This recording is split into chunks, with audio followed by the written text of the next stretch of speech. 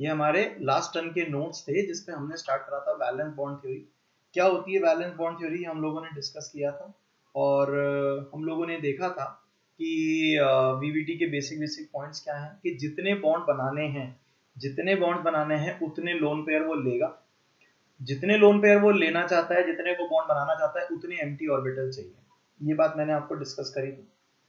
फिर इसमें मैंने कहा था according to VBT the formation of complex involves Lewis acid base interaction between the central metal atom और ion and the surrounding ligand that is हमने कहा था वो एक लुईस बेस होगा, और जो लोन पेयर लेने वाला है वो लुईस एसिड होगा, ये हमने डिस्कस किया। फिर उसके बाद हम लोगों को आगे आगे गए तो सेंट्रल मेटल एटम और आयन जो था, वो उसके पास एम्प्टी ऑर्बिटल होनी चाहिए, ये हमने पढ़ा था। तो लिगेंड आएगा और एक फिक्स डायरेक्शन में आएगा और उसके साथ बॉन्ड बनाने से पहले सेंट्रल मेटल एटम में हाइब्रिडाइजेशन हो जाएगा। ये हमने पढ़ लिया। During hybridisation some number of मतलब pure and empty atomic orbital of central metal atom or ion equal to coordination number, having equivalent energy mixed together to form a same number of entirely new orbitals called hybrid orbitals. ये हमने पढ़ा था। Hybrid orbitals form arrange themself in the space as apart as possible ठीक है, ये भी हमने discuss कर लिया था। जैसे डेफिनेट ज्योमेट्री बनती थी। तो मैंने क्या करके ज्योमेट्रीज आपको सिखाई थी। Sp हाइब्रिडाइजेशन है तो लीनियर ज्योमेट्री sp2 है तो ट्रायगोनल प्लेनर ये आपको वैसे भी आती थी। लेकिन कोऑर्डिनेशन नंबर 4 के अंदर टेट्राहेड्रल ज्योमेट्री थी। टेट्राहेड्रल थी जब हाइब्रिडाइजेशन जो होता था, जब हाइब्रिडाइजेशन होता था, वो कौन सा होता था? दैट इज़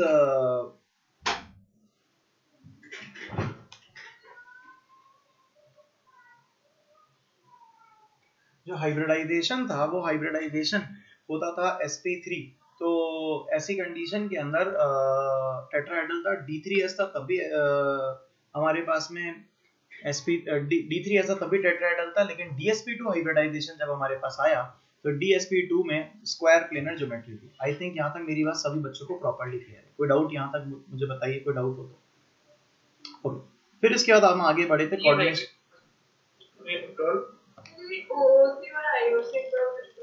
जब अंदर वाला डी ऑर्बिटल इन्वॉल्व होता है हाइब्रिडाइजेशन में तो उसको कहते हैं इनर ऑर्बिटल कॉम्प्लेक्स। लेकिन जब सिर्फ़ वैलेंस शेल ऑर्बिटल इन्वॉल्व होती है तो then it is known as outer orbital complex जैसे कि यहाँ पर देखिए sp3d दिया हुआ है और dsp3 दिया हुआ है। तो sp3 जो है sp3d जो है, वो तो हो जाएगा आउटर ऑर्बिटल कॉम्प्लेक्स लेकिन dsp3 जो हो जाएगा, वो हो जाएगा इनर ऑर्बिटल कॉम्प्लेक्स अगला जो है कोऑर्डिनेशन नंबर सिक्स दिया है, उसमें sp3d2 जो है, वो तो हो जाएगा आउटर ऑर्बिटल कॉम्प्लेक्स और जो d2 sp3 है वो हो जाएगा inner orbital complex this is so basic concept आ गया समझ में सभी बच्चों को?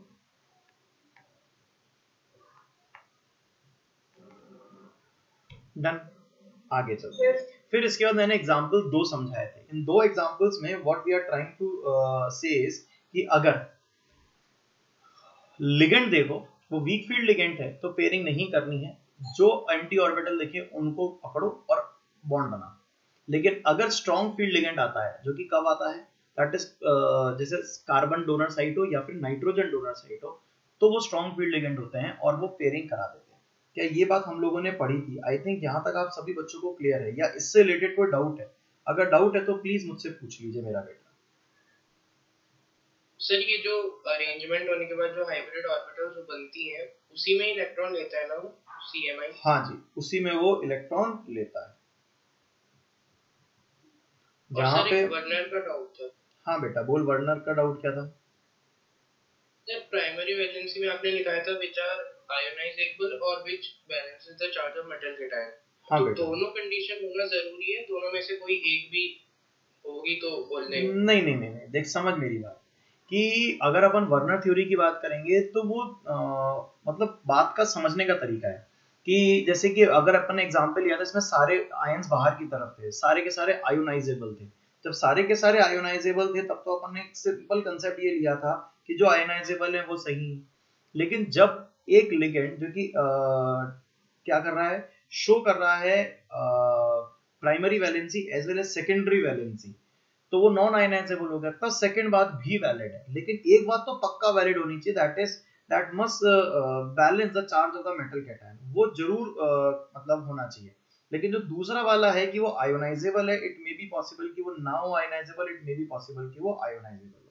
तो जो कंडीशन है आयोनाइजेबल की वो तो हो भी सकती है और नहीं भी हो सकती है। लेकिन जो balancing the charge of metal cation है वो मस्ट होनी चाहिए।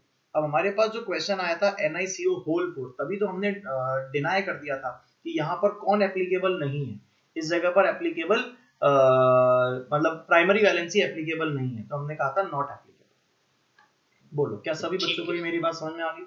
इसका जो डाउट है वो सभी बच्चों को क्लियर हो गया है नहीं हो गया? कोई डाउट है किसी और बच्चे को अभी भी?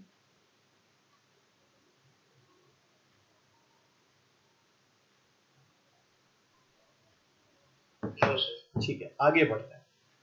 आगे जो चीज़ है वो क्या है? जरा बोर्ड पर ध्यान से देखना। यहाँ पर एक एक करके सारे पॉइंट्स आज हमें डिस्कस करने हैं। और वो पॉइंट क्या है? इन जनरल इन जनरल मतलब वीबीटी की बात कर रहे हैं। In general those ligands those ligands containing containing carbon और नाइट्रोजन कार्बन और नाइट्रोजन डोनर साइट कार्बन और nitrogen donor sites are considered as strong field ligand वो स्ट्रॉन्ग फ़ील्ड लिगेंड कहलाते हैं and may result may results in and may result in pairing of electron pairing of electron during the formation of complex during the formation of complex during the formation of complex. अब इस चीज़ को हम लोग सीखना चाहते हैं और दूसरी बात कि इस मे वर्ड को भी जस्टिफाई करना चाहते हैं। ठीक है ना? तो मैं इसको अभी नीचे और भी पॉइंट्स लिखने हैं लेकिन आ, मैं यहाँ पर इतने से केस की बात करता हूँ स्ट्रॉन्ग फ़ील्ड और वीक फ़ील्ड स्ट्रॉन्ग फ़ील्ड और वीक फ़ील्ड को समझाने के लिए what we can do is कि हम एक डिवीज़न कर लेते हैं यहाँ पर आधा आधा ये हमने आधा सा डिवीज़न कर लिया कुछ, ये स्ट्रेट लाइन आ गई है। हमने एक डिवीज़न करा, एक तरफ़ अपन लिखेंगे स्ट्रॉन्ग फ़ील्ड लिगेंड एक तरफ़ लिखेंगे अपन वीक फ़ील्ड लिगेंड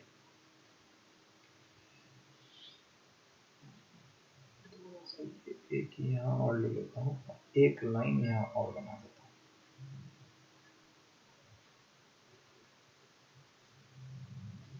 ठीक है? एक टेबल बनाते हैं अपन। ये जो टेबल है, ये टेबल से हम लोग ये सीखने की कोशिश करेंगे कि स्ट्रॉन्ग फ़ील्ड लिगेंड और वीक फ़ील्ड लिगेंड के लिए क्या होने वाला है। यहाँ पर हम लोग इलेक्ट्रॉनिक कॉन्फ़िगरेशन लिखने वाले हैं। ये मैंने लिखा इलेक्ट्रॉनिक कॉन्फ़िगरेशन हम यहाँ लिखेंगे। और यहाँ पर हम लोग लिखेंगे कि अगर वीक फ़ील्ड लिगेंड आया तो क्या होगा? ब्रैकेट में लिखेंगे हाइब्रिडाइजेशन ब्रैकेट में क्या लिखेंगे?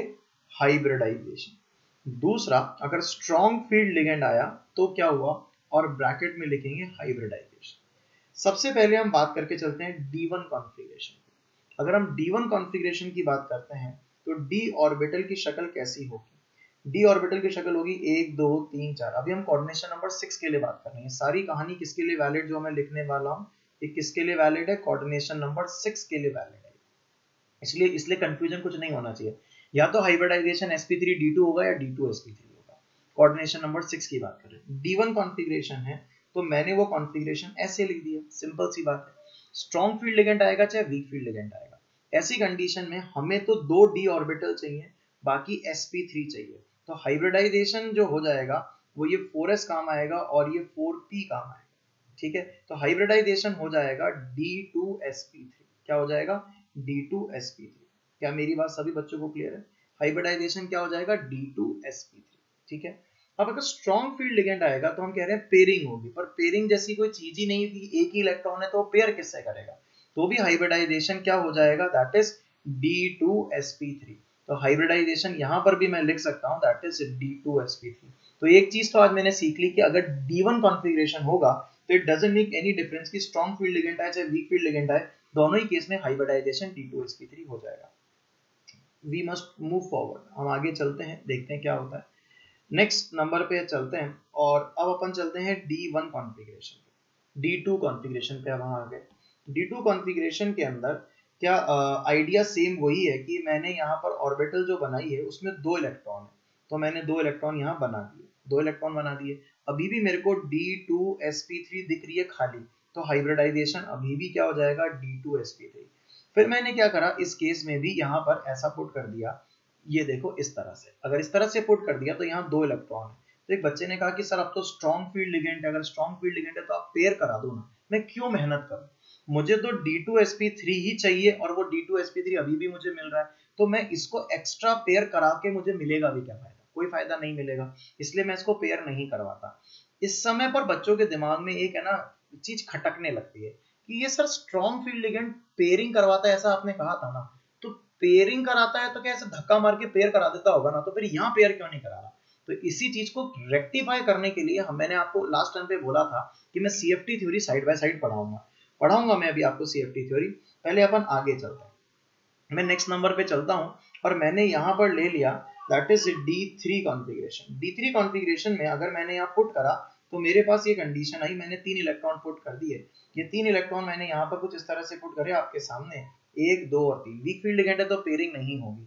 क्या हाइब्रिडाइजेशन अभी भी D2sp3 दिख रहा है? D2sp3 जो मैं डॉट लगा रहा हूँ, उस डॉट को पकड़ लेना। D2sp3 अगर अपन ने स्ट्रॉन्ग फ़ील्ड लिगेंड लगाया तो मुझे कौन बता रहा है कि हाइब्रिडाइजेशन क्या होना चाहिए? तीन इलेक्ट्रॉन में लगा रहा हूँ। एक, दो और तीन। क्या मैं इसकी पेयरिंग कराऊं या पेयरिंग नहीं कराऊं?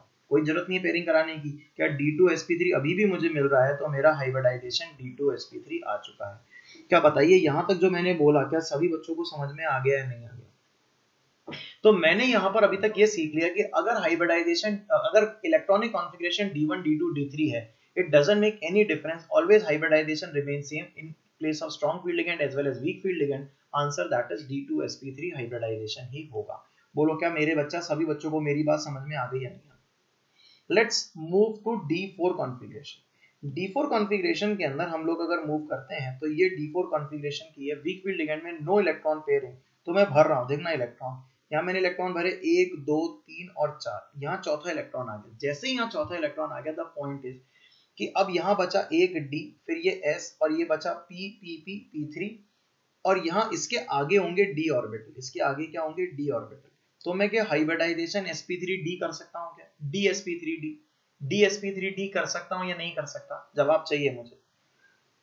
क्या मैं डी sp3d हाइब्रिडाइजेशन कर सकता हूँ या नहीं कर सकता?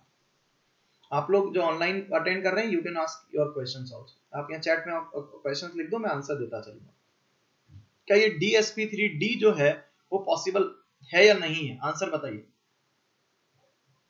नहीं क्यों नहीं है? जल्दी से बता दे। अंगद बेटा बता दे डीएसपी थ्री डी पॉसिबल क्यों नहीं है? सर फिर वो एक्स्ट्रा फोकी में जाना पड़ेगा। फोर पी कहाँ से आ गया? ये है थ्री डी ये है थ्री एस ये थ्री डी ये है फोर एस ये हो गया फोर पी और ये आ गया फोर डी तो hybridisation d s p three d possible क्यों नहीं है? मुझे सवाल का जवाब चाहिए। कोई और बताए? जल्दी से बताओ।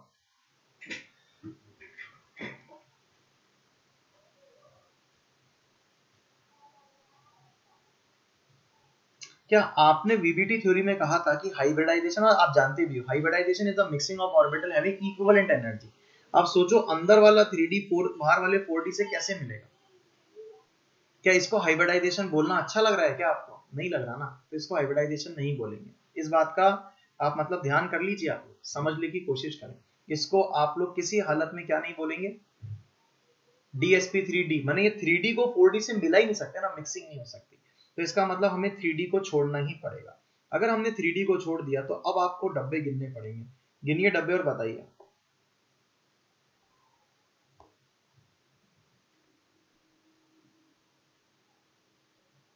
हाँ जी, अब आपको डब्बे गिनने और डब्बे गिन के बताने पड़ेंगे। बताओ, डब्बे कैसे गिनू?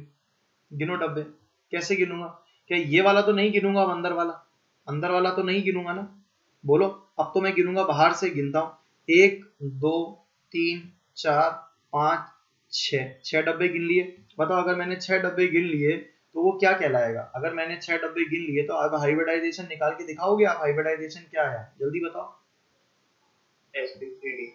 हाइब्रिडाइजेशन आया that is s p three d two बोलो मेरा बेटो क्या सभी बच्चों को समझ में आ रही है बात या नहीं आ रही है?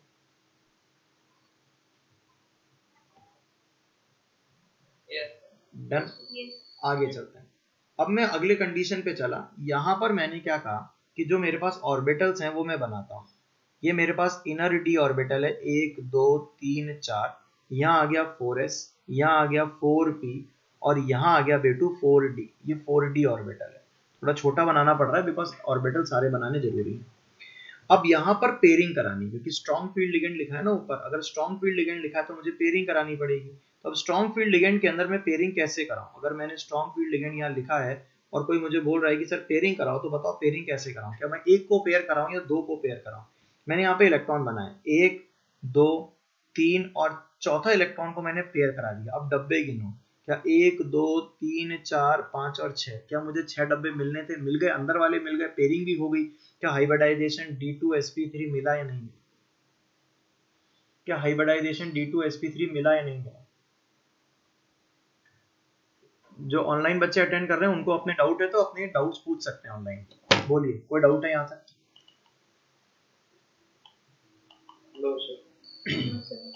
आगे चलता हूँ। इसके बाद में नेक्स्ट नंबर पे चलता हूँ और नेक्स्ट नंबर मेरे पास आता है दैट इज़ डी फाइव आइए डी फाइव को डिस्कस करते हैं। मेरा बेटू ध्यान से डी फाइव को देखना। यहाँ पर मेरे पास आया d five configuration d five configuration के अंदर मैंने जो डायग्राम बनाया वो यहाँ पर तो ये डी ऑर्बिटल बना दी। एक दो तीन चार यहाँ पर आया फोर एस यहाँ पर आया फोर पी और यहाँ पर आ गया फोर डी नाउ हमको अब पाँच इलेक्ट्रॉन लिखने हैं। पाँच इलेक्ट्रॉन लिखते जाइए। एक दो तीन चार और पाँच। यहाँ तो कोई पेयरिंग का लफड़ा ही नहीं है। अब आपको पाँच डब्बे गिनने छह डब्बे गिनने एक दो तीन चार पाँच और छह। हाइब्रिडाइजेशन बोलिए। आप लोग बोलते जाओगे मैं लिखता जाऊँगा। बोलो हाइब्रिडाइजेशन sp3d2 आगे चलते हैं। यहाँ अगर मैं डब्बे बनाऊँ तो ये कुछ इस तरह के बनेंगे। यहाँ पर मैंने ही बना दिया एक, दो, तीन, चार। यहाँ मैंने बना दिया फोर एस, यहाँ मैंने बना दिया फोर पी और यहाँ मैंने बना दिया फोर डी। क्या मेरी बात सभी बच्चों को क्लियर हो रही है नहीं हो रही है? अब मुझे खाली डब्बे गिनने हैं। पहले तो इलेक्ट्रॉन भरता हूँ। क्या मैं पेयरिंग करा सकता हूँ? हाँ करा सकता है ना सर स्ट्रॉन्ग फ़ील्ड लिगेंड है पेयरिंग करा दो। मैंने पेयरिंग करा दी। आंसर आया एक, दो, तीन। फिर आया चार और ये पाँच। क्या पाँच इलेक्ट्रॉन मैंने बना दी? दिख रहे हैं सभी बच्चों को? मैं वापस से बना देता हूँ पाँच इलेक्ट्रॉन देखिए ब्लैक कलर से बना रहा हूँ। एक दो तीन चार और पाँच। क्या मैंने पाँच इलेक्ट्रॉन बना ली? अब मुझे छह डब्बे खाली गिनने हैं। गिनो। एक दो तीन चार पाँच और छह। क्या हाइब्रिडाइजेशन क्या आया? क्या d two s p three आया? आया या नहीं आया? क्या सभी का समझ में आ रहा है कि d two s p three hybridisation कैसे आया? Yes. क्या सभी को क्लियर हो गया? बहुत अच्छा। अगले नंबर पे चलते डी सिक्स डी सिक्स तो वही आंसर है जो कि हम ऑलरेडी कर चुके हैं। डी सिक्स तो हम ऑलरेडी कर चुके हैं। कल हमने जो एग्ज़ाम्पल करा था वो डी सिक्स का ही तो था। आइए डी सिक्स के बारे में बात करेंगे। डी सिक्स डब्बा डायग्राम बना देता हूँ। ये डब्बा डायग्राम आपके पास है। ये रहा डब्बा डायग्राम इसके अंदर आपको छह इलेक्ट्रॉन भरना है विदाउट पेयरिंग तो विदाउट पेयरिंग इलेक्ट्रॉन भर देता हूँ। एक, दो, तीन, चार, पाँच और एक छठा इलेक्ट्रॉन तो आएगा ही आएगा। खाली डब्बे गिनो। क्या आएँगे? एक दो, तीन, चार, पाँच और छह। क्या हाइब्रिडाइजेशन sp3d2 आया? अरे हाँ या ना मेरा बेटा? आया sp3d2 अगले का जवाब देते हैं। स्ट्रॉन्ग फ़ील्ड लिगेंड में क्या पेयरिंग हो जाती है? हाँ सर स्ट्रॉन्ग फ़ील्ड लिगेंड में पेयरिंग करवा दो। करा दो पेयरिंग लो, आप डरते क्यों यानी यहाँ पे इलेक्ट्रॉन भरे पहले तो। कैसे करें? एक, दो, तीन, चार, पाँच और छ कर दिए। अब मुझे डब्बे गिनने डब्बे गिनो। एक, दो, तीन, चार, पाँच और छ क्या हाइब्रिडाइजेशन अभी भी d two s p three आ रहा है? आपने क्या देखा कि ऊपर वाले d one d two d three में चाहे स्ट्रॉन्ग फ़ील्ड लिगेंड था, चाहे वीक फ़ील्ड लिगेंड था हाइब्रिडाइजेशन सेम ही था। क्या था hybridisation that is d two s p three लेकिन d four d five d six और अब डी सेवन में लिखने जा रहा हूँ, उसमें वीक फ़ील्ड लिगेंड में पेयरिंग नहीं होती है हाइब्रिडाइजेशन sp3d2 रहता है। जबकि स्ट्रॉन्ग फ़ील्ड लिगेंड में पेयरिंग हो जाती है और हाइब्रिडाइजेशन d2 sp3 हो जाता है। क्या बताओ, ये जो बात मैंने कंक्लूड करी है सभी बच्चों को पकड़ में आ गई या नहीं आ गई? आगे चलते हैं D7 कॉन्फ़िगरेशन D7 कॉन्फ़िगरेशन क्या D7 जो कॉन्फ़िगरेशन है अगर अपन उसकी बात करें तो बताओ कैसे करेंगे? तो यहाँ पे वही डब्बा डायग्राम बना देता हूँ। ये रहा डब्बा डायग्राम अब इसमें मैं इलेक्ट्रॉन भरना चालू करता हूँ। देखिए इलेक्ट्रॉन लिखते हैं कोई पेयरिंग नहीं करानी। एक दो तीन चार पाँच छ और सात। सात इलेक्ट्रॉन भर दी अब मैंने यहाँ पे इलेक्ट्रॉन भरे। एक दो तीन चार पाँच और छः क्या hybridisation s p three d two गिन लिया मैंने? हाँ या ना? यहाँ पर देखते हैं कि कुछ नया होगा। क्या नया होगा? उस पर थोड़ा ध्यान देना है मेरे को। इसमें जब इलेक्ट्रॉन हम भरते हैं तो हमें सात इलेक्ट्रॉन भरने हैं। कुछ ऐसे भरेंगे। एक, दो, तीन, चार, पाँच और छह। अब जो सातवां इलेक्ट्रॉन है आई रिपीट जो सेवेंथ इलेक्ट्रॉन है, वो सेवेंथ इलेक्ट्रॉन आगे मौजूद। ये कौन है? थ्री ये कौन है? फोर ये कौन है? फोर ये कौन है? फोर ये जो फोर डी यहाँ पर मौजूद है, इस फोर डी में जंप मार के चला जाता है। जंप मार के चला जाता है, यानी कि एक इलेक्ट्रॉन में यहाँ फोर में पुट कर देता हूँ। एक इलेक्ट्रॉन में यहाँ पे कहा पुट कर देता हूँ? फोर में पुट कर देता हूँ। अब आप इस फोर डी में मैंने बीचों बीच लिखा है इसका मतलब वो कहीं पर भी हो सकता है, क्योंकि सारी एनर्जी तो सेम है। अब मुझे खाली डब्बे गिनने एक, दो, तीन, चार, पाँच और छह। क्या hybridisation d two s p three आ गया? तो हमने एक स्पेशल केस पढ़ा। इस स्पेशल केस के अंदर हमने जंपिंग ऑफ़ इलेक्ट्रॉन देखा। हमने क्या देखा? ट्रांसफरेंस ऑफ़ इलेक्ट्रॉन या jumping of electron transference of electron देखा, यानी कि जंपिंग ऑफ़ इलेक्ट्रॉन देखा। एक स्पेशल केस था ये। अदरवाइज़ यहाँ तो ये इलेक्ट्रॉन अगर मान लो जंपिंग वंपिंग नहीं होती तो क्या इलेक्ट्रॉन यहाँ आ जाता? और अगर इलेक्ट्रॉन यहाँ आ जाता तो फिर हम d s p three d नहीं बना पाते तो क्या हमको s p three d two बनाना पड़ता? बनाना पड़ता तो बनाना पड़ता, बनाते। क्या जो एग्ज़ाम्पल मैंने डी वन से डी सेवन आपको समझाए हैं इज़ दैट क्लियर और नॉट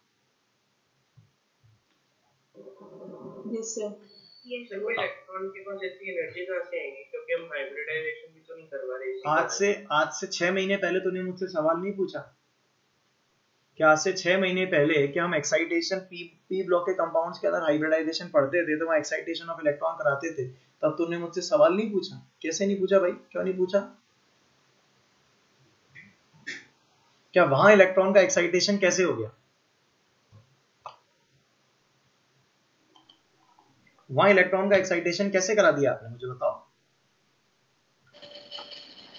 सर वहाँ थ्री था ना शेल नंबर नहीं थ्री और फोर शेल नंबर से क्या है? बल्कि जैसे जैसे हम ऊपर जाते जाते हैं शेल्स के अंदर तो बल्कि कॉन्जिक्यूटिव एनर्जी गैप कम होता जाता है। तो जंप करने में तो इजी हो जाएगा दिक्कत है ये थोड़ी न्यूक्लियस से निकल के ऊपर जंप करना है। वो तो पास वाली ऑर्बिटल में जंप करना है। तो यहाँ थ्री से निकल के फोर में चला गया। जंप ही तो करना था वहाँ पर भी तो यही था। एक शेल से दूसरी शेल में जंप करता था। तो फिर हाइब्रिडाइजेशन क्यों नहीं करवाई थी? वहाँ पे भी करा यहाँ पे भी करा रहे हैं हाइब्रिडाइजेशन देखो ना d two s p three करा रहे हैं वहाँ पर भी करा रहे हैं हाइब्रिडाइजेशन वहाँ पर भी क्या करते थे? एक्साइट करते थे फिर हाइब्रिड कर लेते थे। सर जैसे हमने कहा था ना कि डीएसपी 3D नहीं होगा। फालतू बहस कर रहे हैं वैसे। कारण बताऊँ क्या? कि इसका रीजन तो वैसे भी अब मैं सीएफटी में देने वाला हूँ। तो तुम्हें लगेगा कि अरे सारी तो फालतू बात हो गई। ये एक्सप्लेनेशन तो वही था। वो तो मैं तुमको ऐसे ही मस्ती में मार रहा हूँ कि हाँ ऐसा बताओ क्यों नहीं करेंगे? तो वो अभी करेंगे। डरो नहीं, है ना? अभी अपन एक्सप्लेनेशन तो वहाँ दे ही रहा हूँ ना मैं पूरा। टेंशन मत लो, ठीक है? एक्सप्लेनेशन दे रहा हूँ मेरा बेटा, अभी रुक जा। तो हम यहाँ पर भी कंटिन्यू कर देते हैं इसी टेबल को। ये मैंने यहाँ पर एक टेबल बना ली, ऐसे। यहाँ पर मैंने ये ले लिया एक,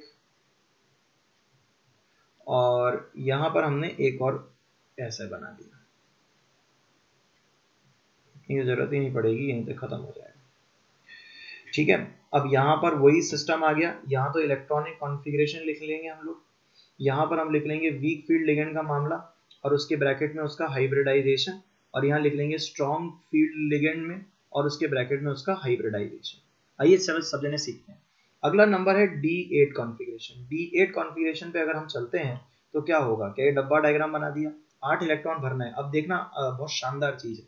इलेक्ट्रॉन भरो। एक, दो, तीन, चार, पाँच, छ, सात, आठ, दो दो इलेक्ट्रॉन पड़े रहने दो। यहाँ पे अब तो इलेक्ट्रॉन गिनो, डब्बे गिनो। एक, दो, तीन, चार, पाँच और छह छह लिए हमने हाइब्रिडाइजेशन sp3d2 हाइब्रिडाइजेशन क्या होगा? Sp3d2 अब देखो सर क्या कर रहे हैं। सर ने इसको लिया और इसको करा कॉपी और यहाँ कर दिया पेस्ट अरे सर, ये क्या करा आपने?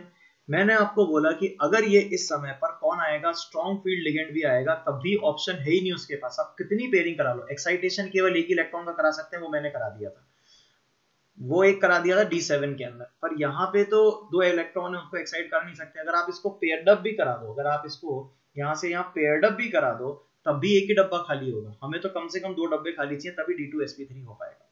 तो इसीलिए वीक फ़ील्ड लिगेंड और स्ट्रॉन्ग फ़ील्ड लिगेंड में जब डी एट कॉन्फिग्रेशन होता है तो आंसर सेम रहता है। बोलो, क्या क्लियर हो गई मेरी बात? आपको हर जगह पर एक एहसास होगा कि सर जो है ना, कुछ तो छुपा रहे हैं। सर ये तो कह रहे हैं ऐसा होगा, लेकिन सर ये बता ही नहीं रहे कि ऐसा क्यों होगा। तो बस यही चीज़ तो कहानी है असली। डी नाइन कॉन्फ़िगरेशन है डी नाइन कॉन्फ़िगरेशन आते ही। क्या ये पेयरिंग हो गई?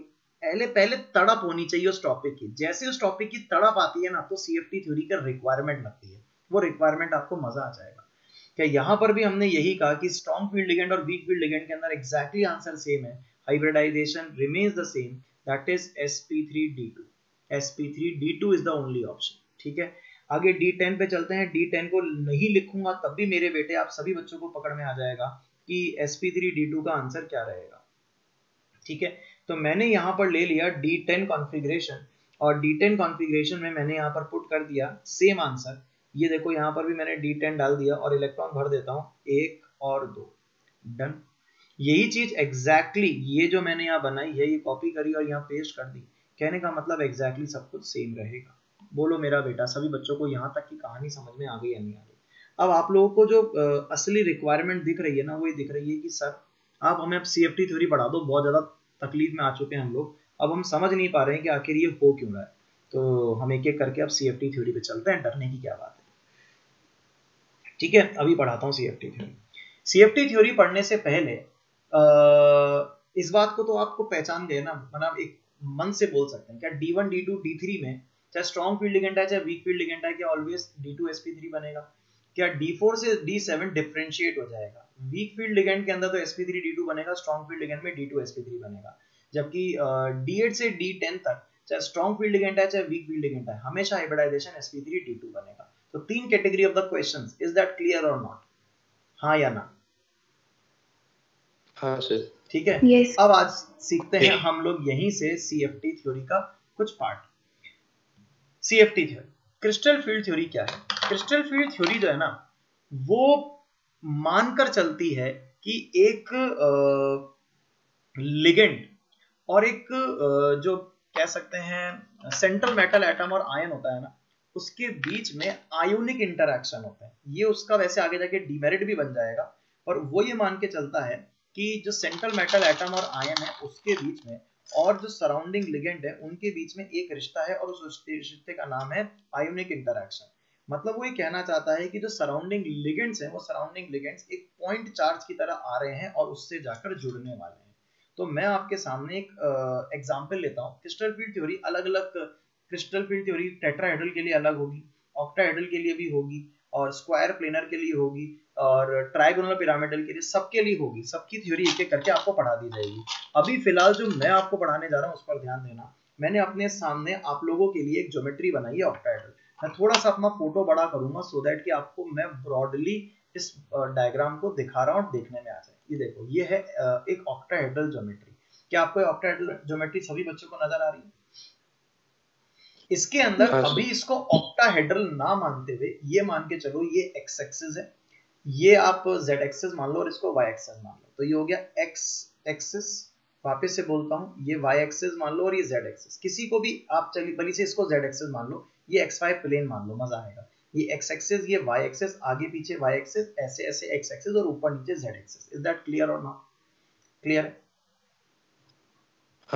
हंड्रेड परसेंट क्लियर है?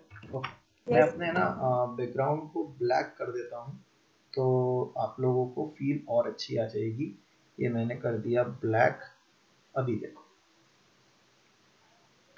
अब मैं आराम से दिख जा रहा हूँ ताकि आप लोगों को इसकी प्रॉब्लम नहीं होगी। ठीक है? तो यह वही अच्छा था। वो ज़्यादा अच्छा था? हाँ सर वही ज़्यादा अच्छा था। ये अच्छा तो ये है plus x minus x plus y minus y plus z minus z ये मान के चलो कि यहाँ से लिगेंड्स आ रहे हैं। लिगेंड्स छह ही बॉन्ड बनाने वाले लिगेंड्स आते हैं बहुत सारे लेकिन उनमें से छह सक्सेसफुल होते हैं। तो ये लिगेंड जो आ रहे हैं कहाँ से आ रहे हैं? Plus x minus x plus y minus y plus z, minus z से लिगेंड अप्रोच कर रहे हैं इस सेंट्रल मेटल एटम और आयन को। अब ऑर्बिटल्स ढूंढो। क्या आपको याद है, ऑर्बिटल जो होती है वो d x square minus y square d z square और d y z d x z ये होती कहाँ है? क्या आपको सबको याद है? क्या d x square minus y square ऐसी होती है? एक लोब, ये होता है दूसरा लोब, ये होता है तीसरा लोब, ये चौथा चौथा लोब। क्या चारों लोब्स एक्स वाई के एक्सेस पर होते हैं? हाँ या ना? डी जेड स्क्वायर कहाँ होता है? हाँ यहाँ एक लोब होता है यहाँ दूसरा लोब होता है और एक रिंग होती है ऐसे गोल रिंग यहाँ पर बनी हुई होती है। अरे हाँ या ना क्लियर अब आता है डी एक्स वाई कहाँ होता है? क्या ये एक्स एक्सिस और वाई एक्सिस के बीच में यहाँ कहीं डी एक्स वाई होता है? इट लुक्स लाइक दिस ये कुछ इस तरह से डी एक्स वाई नज़र आता है। देखो मैंने यहाँ एक डायग्राम भी बना दिया। इट लुक्स लाइक दिस कि अगर मैं इसको ऐसे पकड़ लूँ तो ये एक्स एक्सिस आपकी तरफ़ आ रही है। और ये पीछे की तरफ़ आ रहा है, कुछ ऐसे देख लो। और ये जो बीच में लोब बना हुआ है that is d x y इस तरह का लोब होता है ऑर्बिटल का। ठीक है? अब इमेजिन करो लिगेंड्स जो आ रहे हैं, वो पॉइंट चार्जेस हैं। जब वो आएँगे plus x minus x plus y minus y या प्लस जेड और माइनस जेड से तो वो रिपल्शन सबसे ज़्यादा किसके साथ करेंगे? क्या वो रिपल्शन सबसे ज़्यादा x square minus y square और डी जेड स्क्वायर के साथ करेंगे या इस डी एक्स वाई के साथ करेंगे?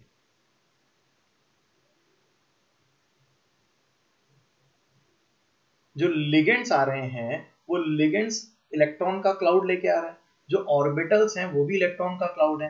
तो आती भी आता हुआ लिगेंड उन ऑर्बिटल्स को ज़्यादा रिपेल क्या इन एक्शियल ऑर्बिटल्स को ज़्यादा रिपेल करेगा या इस नॉन एक्शियल ऑर्बिटल को ज़्यादा रिपेल करेगा? नॉन यूजुअल कैसी बात कर रहे हैं खुद एक्सेस से आ रहे हैं। ऑर्बिटल भी एक्सिस पर है। उनको रिपेल ज़्यादा करेगा या नॉन एक्सियल को ज़्यादा रिपेल करेगा?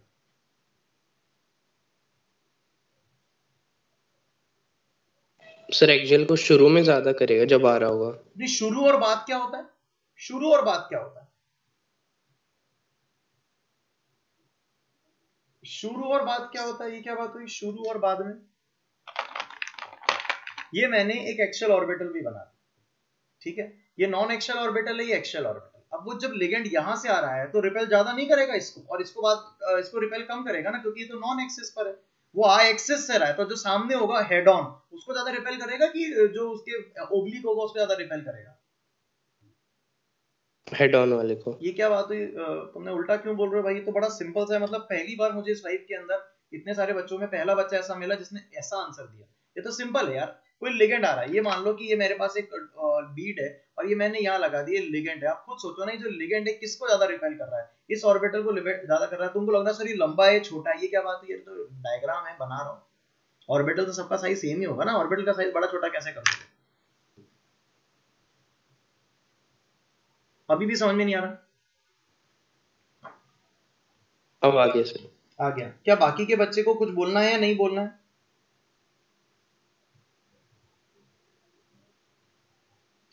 ये एनर्जी की स्केल है, ये एक एनर्जी की स्केल है। मैंने यहाँ पर बनाया डी ऑर्बिटल ये जो डी ऑर्बिटल मैं यहाँ बना रहा हूँ, ये इनर डी ऑर्बिटल है, ये इनर डी ऑर्बिटल है, जिसकी ऑर्बिटल्स के नाम मैं लिखने जा रहा हूँ। ये है d x square minus y square d z square d x y d y z और d x z these are the name of the orbitals ठीक है? क्या आप में से हर एक बच्चा जान सकता है कि ये ऑर्बिटल और ये ऑर्बिटल क्या ये जो तीनों ऑर्बिट ये दो दोनों ऑर्बिटल हैं, ये एक्शियल ऑर्बिटल्स हैं और ये जो दोनों, ये तीनों ऑर्बिटल हैं, ये नॉन एक्शियल ऑर्बिटल्स हैं। क्या इस समय जब इन, ये जब जो स्थिति है, मैं उसको यहाँ पे नाम लिख रहा हूँ, ये आइसोलेटेड स्थिति है। ये आइसोलेटेड सेंट्रल मैटर एटम और आयन की स्थिति है, जब ये लिगेंड के कॉन्टैक्ट में नहीं है। इस समय क्या ये डी जनरेट ऑर्बिटल्स हैं डी जनरेट ऑर्बिटल्स हैं, यानी कि इन सबकी एनर्जीज क्या है सेम है। अब इसके ऊपर हमला हुआ, किसका हमला हुआ? लिगेंड्स का हमला हुआ। तो सबसे पहले हमें जानना ज़रूरी है कि कितने लिगेंड्स आए। तो हमने कहा कोऑर्डिनेशन नंबर सिक्स है, ठीक है? छह डोनर एटम्स है।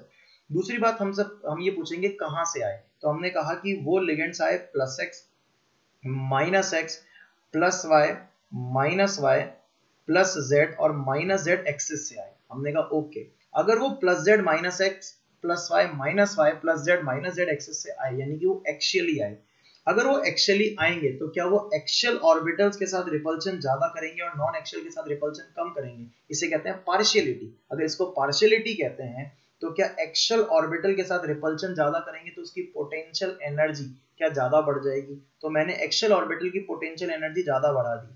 यहाँ पर दो ऑर्बिटल मैंने लिख दिए।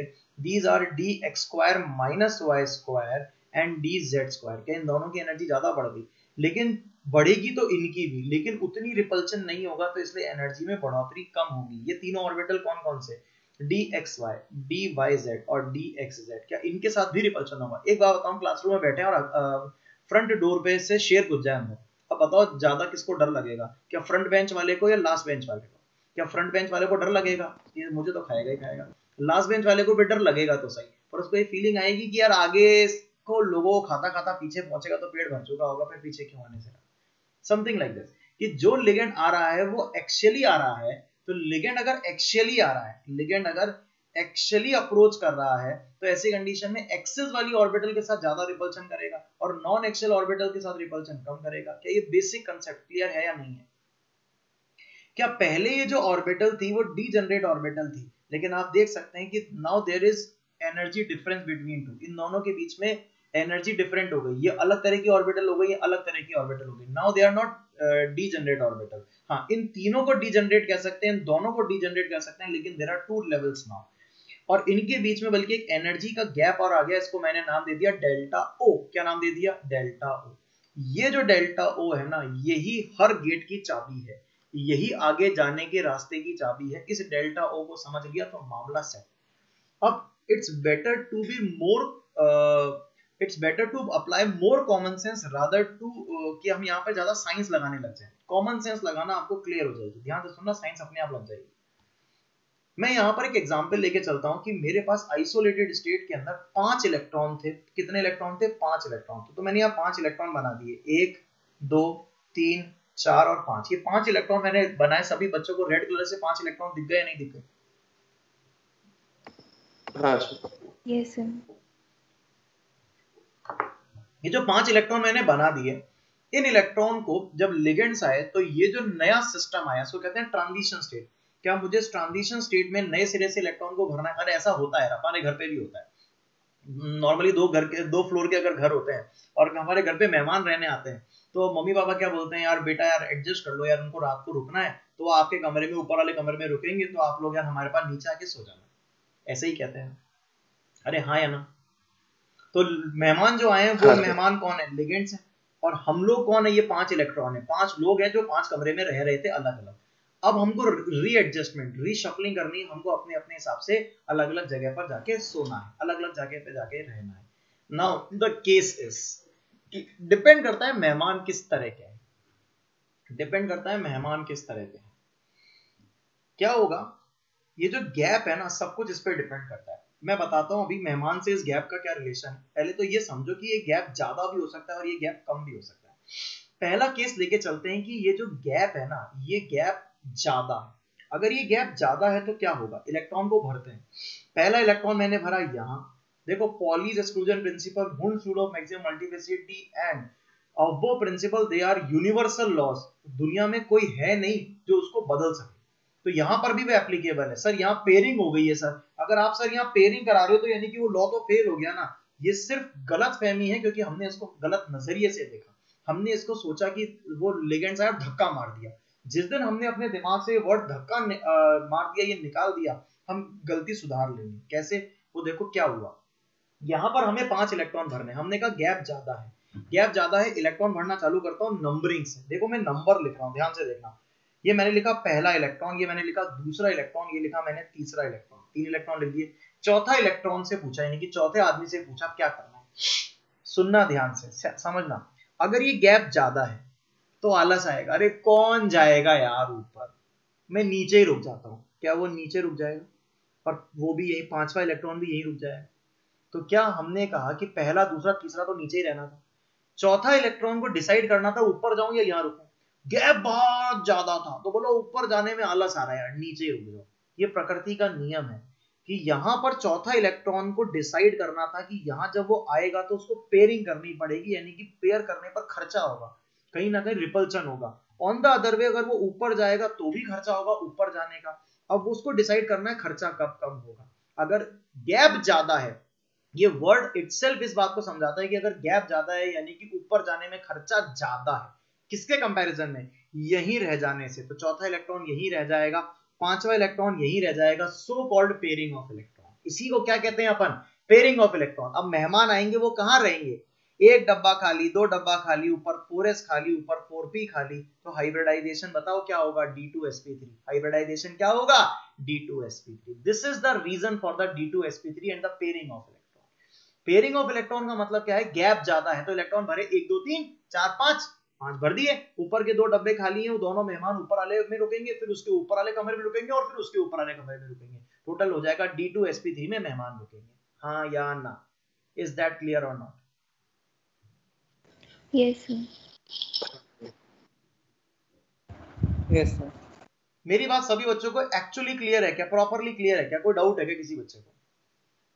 चलो अब गैप कम वाली बात भी करके देख लेते हैं। अगर गैप कम होगा तो क्या होगा? मेरा बेटा देखते हैं। पहले तो ये बात क्लियर है कि तीन इलेक्ट्रॉन तो ऐसे ही भरेंगे एक, दो, तीन। क्लियर है? चौथे इलेक्ट्रॉन से बात करिए चौथा इलेक्ट्रॉन कहेगा, यार, नीचे रुकूँगा, अभी खड़पड़ खड़पड़ करते रहेंगे। पहले ऑलरेडी उसमें एक जना है। मैं तो ऊपर जाता हूँ, ऊपर कमरा खाली है। कि ऊपर जाने में उसको ज़ोर ज़्यादा नहीं आएगा, क्योंकि ये गैप हमने माना कम है। अगर ये गैप कम है तो चौथा इलेक्ट्रॉन यहाँ जाएगा और पांचवा इलेक्ट्रॉन यहाँ जाएगा। अब ऊपर के कमरे तो भर गए। मेहमान को कहाँ रोकोगे? मेहमान को यहाँ रोकने की जगह ही नहीं है। तो वो कहाँ रुकेगा? फोर एस, फोर पी और उसके बाद फोर डी में रुकेगा। तो मेहमान रुका s p three d two में। कहा रुका वो? S p three d two में क्योंकि यहाँ तो ऑलरेडी इलेक्ट्रॉन का क्लाउड है तो वो यहाँ कैसे रुकेगा? क्या मेरी बात सभी बच्चों को क्लियर हो रही है या नहीं हो रही है? अब जिस हाँ, टेबल को हमने एक मिनट पहले दो मिनट पहले बनाया था उस टेबल पर फिर से विचार विमर्श करते हैं लेकिन अब की बार नए नज़रिए के साथ में।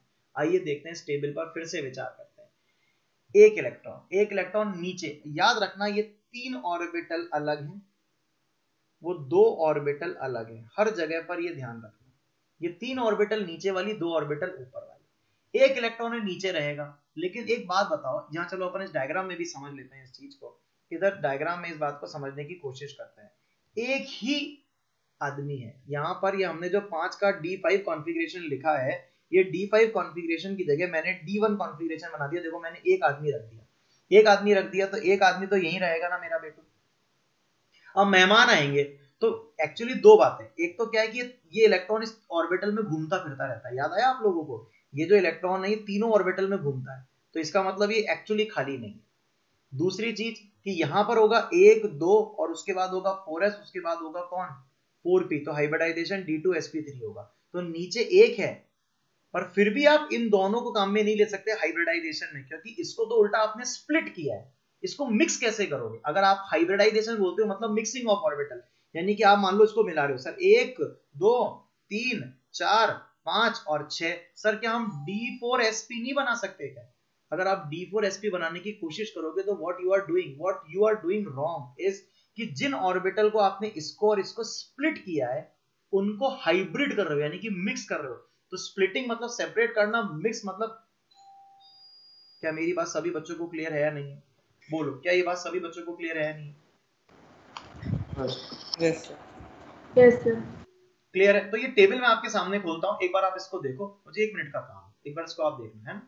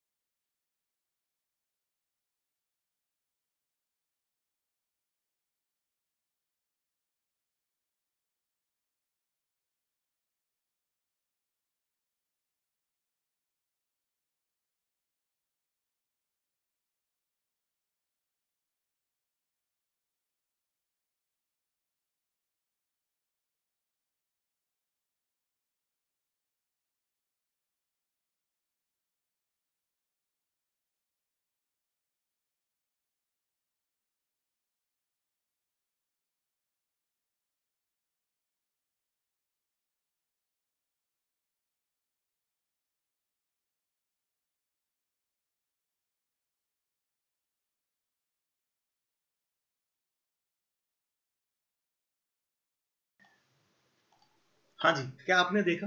क्या हमने यहाँ पर समझने की कोशिश करी, क्या कोशिश करी कि इसमें एक इलेक्ट्रॉन भरेंगे, यहाँ पर भरो, जैसे अपन, अरे भाई, अभी तो मैं जाकर आया, फिर बज गई घंटी।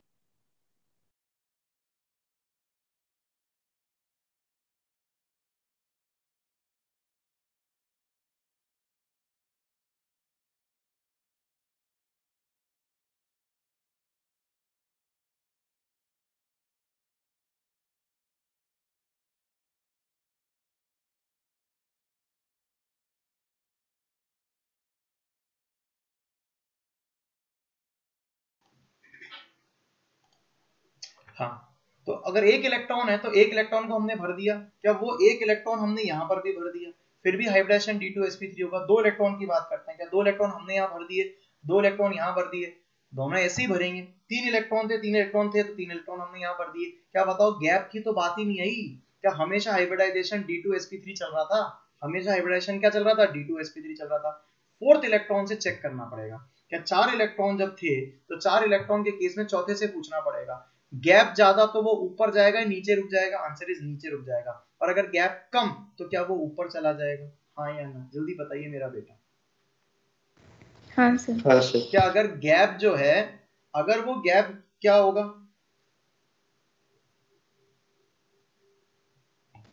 अगर उस गैप की जो वैल्यू है वो गैप की वैल्यू कैसी होगी? बोलो। अगर उस गैप की वैल्यू तो ज़्यादा होगी तो क्या होगा? इलेक्ट्रॉन कहाँ रहेगा? नीचे। रुक जाएगा या ऊपर जाएगा? नीचे। नीचे रुक जाएगा। तो अब स्टेबल को अपन रिफिल करते हैं। अगर अपन स्टेबल को रिफिल करें तो क्या होगा? क्या वीक फ़ील्ड लिगेंड वाला जो केस है वीक फ़ील्ड लिगेंड वाला जो केस है इसमें गैप की वैल्यू क्या गैप की वैल्यू लेस होती है क्या? गैप कैसा होता है? लेस होता है। जबकि यहाँ पर जो गैप की वैल्यू होती है वो हाई होती है। अब आप इस फ़ील्ड से इस टेबल को फिर से रिक्रिएट करते हैं अपन। जरा बोर्ड पर इस टेबल को रिक्रिएट करिए, जरा बोर्ड पर आप ध्यान से देखना। इस टेबल को मैं रिक्रिएट करके आपको दिखाता हूँ। देखना मेरा बेटा, इस टेबल को रिक्रिएट करता हूँ।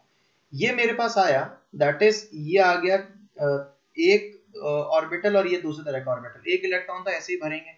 अब चाहे स्ट्रॉन्ग फ़ील्ड लिगेंड आ जाए, तब भी क्या ऐसे ही भरेंगे? आगे नंबर पे चलते हैं। अगले नंबर पे अगर अपन चलेंगे तो D2 आ जाएगा, तब भी हम ऑर्बिटल तीनों ऐसे ही भरेंगे, तब भी अपन ऐसे ही भरेंगे। D3 आ जाएगा, तब भी इनको ऐसे भरेंगे, तब भी इनको ऐसे भरेंगे और anyhow D two hybridization होगा। इसीलिए मैंने आपको अभी बताया कि स्ट्रॉन्ग फ़ील्ड के केस में स्ट्रॉन्ग फ़ील्ड के केस में यहाँ पर इन ऑर्बिटल्स की या इन इलेक्ट्रॉन्स की पेयरिंग नहीं करनी होती है, क्योंकि इलेक्ट्रॉन तो वन वन वन भर दी, उनको पेयर्ड अप क्यों करूँ मैं? उनको पेयर्ड अप क्यों करने लगा? पेयर्ड अप तो तब करूँगा जब चौथे इलेक्ट्रॉन से मुझे ये डिसाइड करना होगा कि ऊपर जाऊँ या नीचे जाऊँ। जब वीक फ़ील्ड लिगेंड होगा तो मैं ऊपर ही जाऊँगा, मैं नीचे नहीं आऊँगा। तो यहाँ पर तीन इलेक्ट्रॉन भर गए, एक इलेक्ट्रॉन ऊपर चला गया। जबकि यहाँ पर क्या हुआ कि गैप की वैल्यू जो थी, वो गैप की वैल्यू क्या थी? ज़्यादा। तो मैं कैसे भरूँगा? एक, दो, तीन और चौथे इलेक्ट्रॉन को पेयर्ड अप कर दूँगा। क्या चौथा मैंने पेयर्ड अप करा? सिर्फ़ चौथा पेयर्ड अप करा। इन दोनों को फर्दर पेयर्ड अप नहीं किया। आप समझ रहे मेरी बात? इन दोनों को फर्दर पेयर्ड अप क्यों करने लगा? मैं तो Hund's rule of maximum multiplicity को फॉलो करूँगा। अगर Hund's rule of maximum multiplicity को फॉलो करूँगा तो एक एक इलेक्ट्रॉन भरूँगा। फिर सिर्फ़ चौथे इलेक्ट्रॉन को मैं पेयर्ड अप करूँगा। है सिया?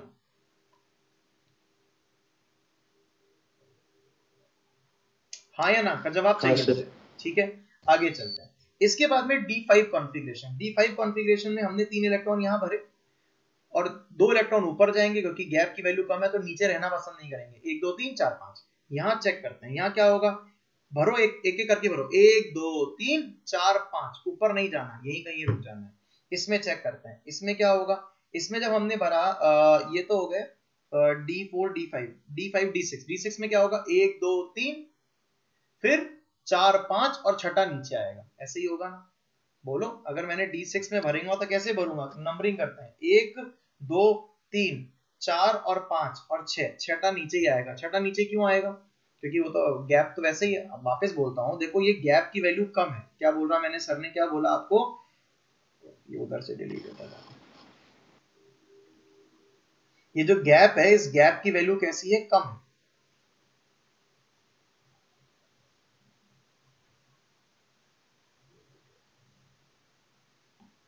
देखो यहाँ पे मैं बना के दिखाता हूँ। भरो भरो इलेक्ट्रॉन भरते हैं कम नंबरिंग करो। एक दो तीन। अब ऊपर भेजूं या वहीं पेयरिंग करा दूँ? सर ऊपर। ऊपर। तो ये आ गया चार और पाँच। अब छठे इलेक्ट्रॉन से पूछू कहाँ जाएगा? तो बोलो ऊपर पेयर करो चाहे नीचे पेयर करो। एक ही बात है पेयरिंग में तो खर्चा वही होगा तो नीचे चले जाओ ना बेटर है तो छठी नीचे वाला नंबर पे आएगा। सातवां कहाँ आएगा? नीचे ही आएगा। आठवां कहाँ आएगा? नीचे ही आएगा। अरे हाँ या ना। ये बोलो ये समझ में आया या नहीं आया? आ गया चलो यहाँ पर देखते हैं। तो क्या D6 D6 का अंदर अगर स्ट्रॉन्ग फ़ील्ड लिगेंड होगा तो कैसे भरोगे बताओ? स्ट्रॉन्ग फ़ील्ड लिगेंड D6 में कैसे भरोगे? जल्दी बता दो नीचे भरोगे। एक दो तीन ऊपर नहीं जाना। चार पाँच छह। तो क्या सारे पेयर्ड अप करा दिए? क्या मैंने यहाँ पे सारे पेयर्ड अप करा दिए? दिख रहे हैं आप लोगों को? हाँ सर। आगे चलते हैं। D7 D7 में इधर देखो इधर देखो मेरी तरफ़ और बताता देखो इधर। वीक फ़ील्ड लिगेंड है। गैप ज़्यादा या गैप कम? कम। कम। गैप कैसा है? कम है। भरो इलेक्ट्रॉन। गिनती करना। यहाँ पे आप ऑर्बिटल खोल के रख देता हूँ। गिनती करो और बताओ कैसे भरू मैं? पहले नीचे भरू। हाँ सर नंबरिंग करता जाता हूँ। इधर देखो मज़ेदार चीज़। एक दो तीन। गैप ज़्यादा या गैप कम? वीक फ़ील्ड लिगेंड है। गैप कम। तो मैं भरूँगा चार पाँच। अब छठा कहाँ भरूँगा? नीचे। ये सिक्स और सेवन क्या ये तरीका होगा क्या भरने का? तो हाइब्रिडाइजेशन अब ऊपर हाँ। होगा डी टू एसपी थ्री हो सकता है या एसपी थ्री डी टू होगा। क्या होगा? क्या एसपी थ्री डी टू होगा ऊपर वाला? क्योंकि यहाँ तो डी खत्म हो गया ऊपर वाला डी काम आएगा एसपी थ्री डी टू अब असली चीज़ आती है वो जंपिंग वाला केस ये जंपिंग वाला केस भी सीख लो। बताओ गैप ज़्यादा है या गैप कम है? स्ट्रॉन्ग फ़ील्ड लिगेंड है ये गैप ज़्यादा है या गैप कम है? ज़्यादा। ज़्यादा। अगर गैप ज़्यादा तो इलेक्ट्रॉन भरता हूँ मैं। एक दो, तीन। गैप ज़्यादा है तो क्या करेगा? चौथा इलेक्ट्रॉन कहाँ भरेगा? चार, पाँच छ यही भरेगा। अब सातवें इलेक्ट्रॉन से पूछा गया, तेरा क्या भाई? उसने कहा, भाई, सातवां इलेक्ट्रॉन बोल रहेगा कि मेरे को तो जाना ऊपर ही है तो ऊपर की जगह ऊपर चला जाता बोला, उससे क्या होगा? बोला, थोड़ा खर्चा होगा। मान लिया, लेकिन फ़ायदा हो जाएगा कि D2sp3 हाइब्रिडाइजेशन मिल जाएगा मुझे। लेकिन अगर ये यहाँ पर इसकी जगह पर अगर ये इलेक्ट्रॉन कहाँ आ गया ये इलेक्ट्रॉन यहाँ आ गया तो इवेंचुअली मुझे sp d2sp3 की जगह मुझे sp3 d2 मिलेगा। और sp3 d2 और d2 sp3 में से अच्छा क्या ये आप भी समझ रहे हैं? क्या बोलो मेरी बात समझ में आ गई या नहीं आ गई? सर तो इसमें हम ऐसे बोल सकते हैं क्या कि D2sp3 होने से इतना ज़्यादा फ़ायदा हो गया कि इलेक्ट्रॉन ऊपर ही चले गया? ऐसा ही बोलना है। बात तो सही यही है। अब मैं ट्रांसफरेंस ऑफ़ इलेक्ट्रॉन की कंडीशन लिख दूँगा नीचे तो पता मैं क्या लिखूँगा? ट्रांसफरेंस ऑफ़ इलेक्ट्रॉन की कंडीशन नंबर वन कि केवल एक इलेक्ट्रॉन ट्रांसफ़र कर सकता है। कंडीशन नंबर टू कि जब भी ट्रांसफरेंस होगा जब भी ट्रांसफरेंस होगा तो सारे लिगेंड स्ट्रॉन्ग फ़ील्ड लिगेंड होने चाहिए। यानी कि जो भी यहाँ पर लिगेंड होना चाहिए वो स्ट्रॉन्ग फ़ील्ड लिगेंड ही होना चाहिए अदरवाइज़ ट्रांसफरेंस नहीं होगा। तीसरी चीज़, इसी शर्त पे ट्रांसफरेंस करना है कि D2sp3 यानी कि स्टेबल इनर ऑर्बिटल कॉम्प्लेक्स बने। तभी ट्रांसफरेंस करना है, ऐसा नहीं कि किसी मर्ज़ी में मर्ज़ी पर ट्रांसफ़र कर दिया था D8 में भी कर दो D9 में भी कर दो D10 में भी कर दो D1 D2 D3 सब में कर दो। ऐसे थोड़ी ट्रांसफरेंस करना है। ट्रांसफरेंस उसी कॉस्ट पर होगा कि स्टेबिलिटी गेन हो जाए। तब आप देख सकते हैं कि यहाँ पर D7 के अंदर तो ऐसा हुआ, और जबकि यहाँ D7 में ऐसा हुआ, और एक इलेक्ट्रॉन जंप मार के ऊपर चला गया। ये मेरे पीछे ये रहा इलेक्ट्रॉन क्या सभी बच्चों को दिख रहा है क्या इलेक्ट्रॉन हाँ सर। D8 के अंदर D8 के अंदर आपको मर्ज़ी पड़े वैसे भर दो, दोनों का कॉन्फ़िगरेशन सेम ही आएगा, भर के देख लो। आप भर के देख लो। चलो, अपन इसको गैप ज़्यादा या गैप कम, आप अपने मन में मान लो। मान लो, आप में से कोई बच्चा कैसे मान रहा है, वैसे मान लो। अब देखना, मैं भरता हूँ। एक, दो, तीन, चार, पाँच छ सात और आठ। ये मैंने ऐसे भरा कि गैप की वैल्यू मैंने ज़्यादा मानते हुए भरा। क्या ये शक्ल दिख रही है आप लोगों को? अब की बार मैं क्या कर रहा हूँ कि इसको वीक फ़ील्ड लिगेंड मानते हुए भरता हूँ। एक दो तीन चार पाँच छ सात आठ। क्या शक्ल सेम है क्या? आपको सर नंबरिंग से अलग लग रही होगी। तो एक काम करता हूँ नंबरिंग की जगह पर इलेक्ट्रॉन बना देता हूँ। इलेक्ट्रॉन बना रहा हूँ देखना। एक दो तीन चार पाँच छ सात और आठ। अब अगर वीक फ़ील्ड लिगेंड होगा तो कैसे भरते? एक आ, मतलब यहाँ भरते हैं। एक दो तीन चार पाँच छ सात आठ। तब भी यही आंसर होता है। तो चाहे स्ट्रॉन्ग फ़ील्ड लिगेंड हो चाहे वीक फ़ील्ड लिगेंड हो क्या कहानी सेम होती है या नहीं होती है? वैसे डी नाइन के अंदर और वैसे डी टेन के अंदर। बोलो मेरा बेटू समझ में आ रहा है या नहीं आ रहा है?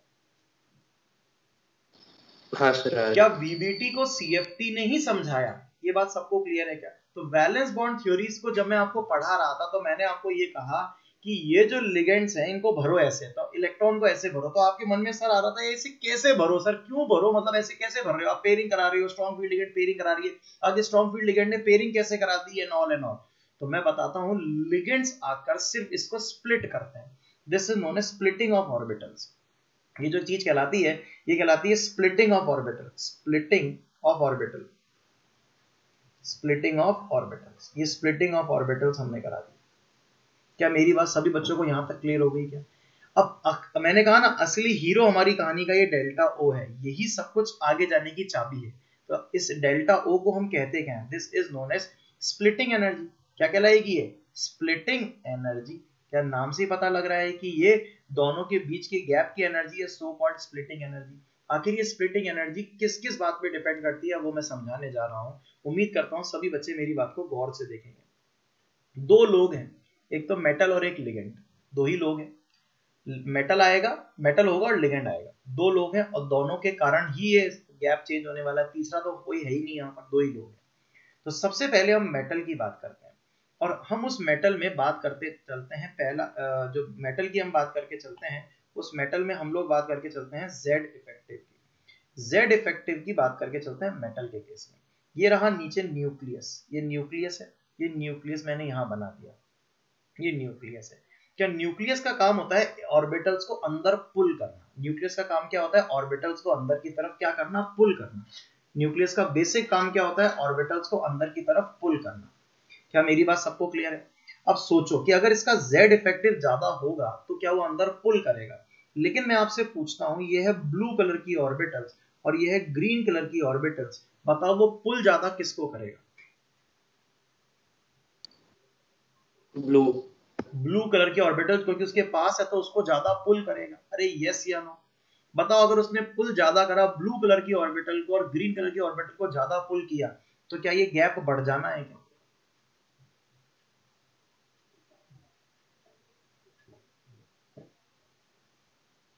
सर एक बार रिपीट करना। तूने जवाब क्या दिया था? कि ये न्यूक्लियस किसको अपनी तरफ़ ज़्यादा अट्रैक्ट करेगा? इन ब्लू ऑर्बिटल को अपनी तरफ़ ज़्यादा अट्रैक्ट करेगा? और इस ग्रीन ऑर्बिटल को अपनी तरफ़ अट्रैक्ट कम करेगा। यही बोल रहा था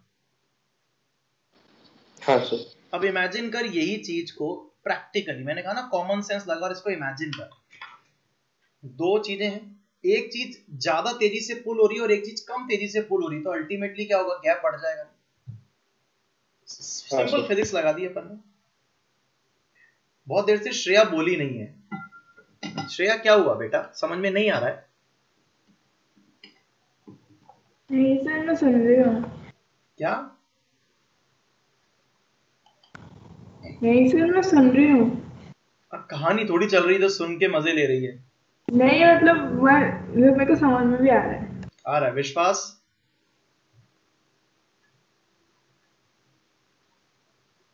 विश्वास। क्या? समझ में आ रहा आ रहा है? यार देखो एक बात बताऊँ सुनो मेरी बात। समझ तो रही है।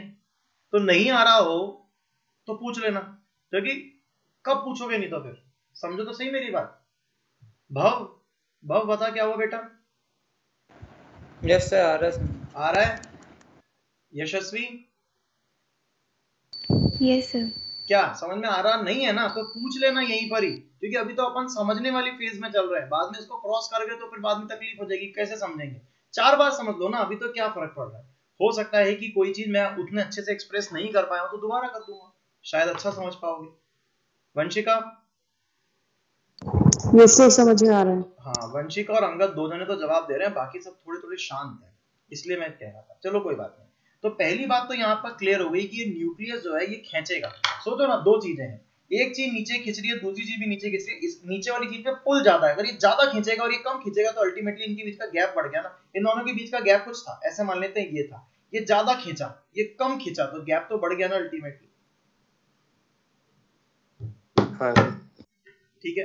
तो Z इफ़ेक्टिव अगर बढ़ेगा क्लियर इंडिकेशन है तो गैप ज़्यादा होगा। अब Z इफ़ेक्टिव किस किस बात पे डिपेंड करता है? क्या मेटल की ऑक्सीडेशन स्टेट पे डिपेंड करता है? क्या मेटल की ऑक्सीडेशन स्टेट जितनी ज़्यादा होगी मतलब पॉजिटिव की बात कर रहे हैं। मेटल की ऑक्सीडेशन स्टेट जितनी ज़्यादा होगी पॉजिटिव ऑक्सीडेशन स्टेट जितनी ज़्यादा होगी क्या बताइए क्या यहाँ पर जेड इफ़ेक्टिव उतना ज़्यादा होगा और गैप ज़्यादा होगा? हाँ या ना? हाँ सर दूसरी चीज़ क्या position in periodic table position in periodic table क्या बताओ पोजीशन इन पीरियोडिक टेबल का मतलब है कि एक थ्री सीरीज़ का एलिमेंट एक फोर सीरीज़ का और एक फाइव सीरीज़ का एलिमेंट ये रही मेरी पीरियोडिक टेबल मेरे पास में. ये देखो. इस पीरियोडिक टेबल की तरफ़ अगर अपन ध्यान से देखें तो मेरे पास ये है ऊपर में। आपको पीरियोडिक टेबल को देखना नहीं है सिर्फ़ इमेजिन करना है कि ये जो है ये थ्री सीरीज़ है उसके नीचे फोर सीरीज़ है उसके नीचे फाइव सीरीज़ है। तो जब हम थ्री से फोर से फाइव की तरफ़ जाते हैं क्या पुअर शील्डिंग के चलते क्या पुअर शील्डिंग के चलते क्या जेड इफ़ेक्टिव बढ़ता है या नहीं बढ़ता है?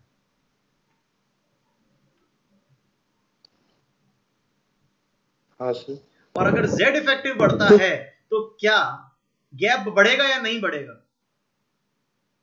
बढ़ेगा बढ़ेगा बढ़ेगा बात समझ में आ गई? ये हुआ मेटल की दोनों कहानी। अब अपन लिगेंड की कहानी पर भी चल सकते हैं। लिगेंड की कहानी पर भी चल लेते हैं। तो दूसरा नंबर आता है लिगेंड लिगेंड की जो आ, मतलब एक्चुअली देखा जाए तो उसके लिए वर्ड तो बोलते हैं फ़ील्ड स्ट्रेंथ क्या वर्ड बोलते हैं? फ़ील्ड स्ट्रेंथ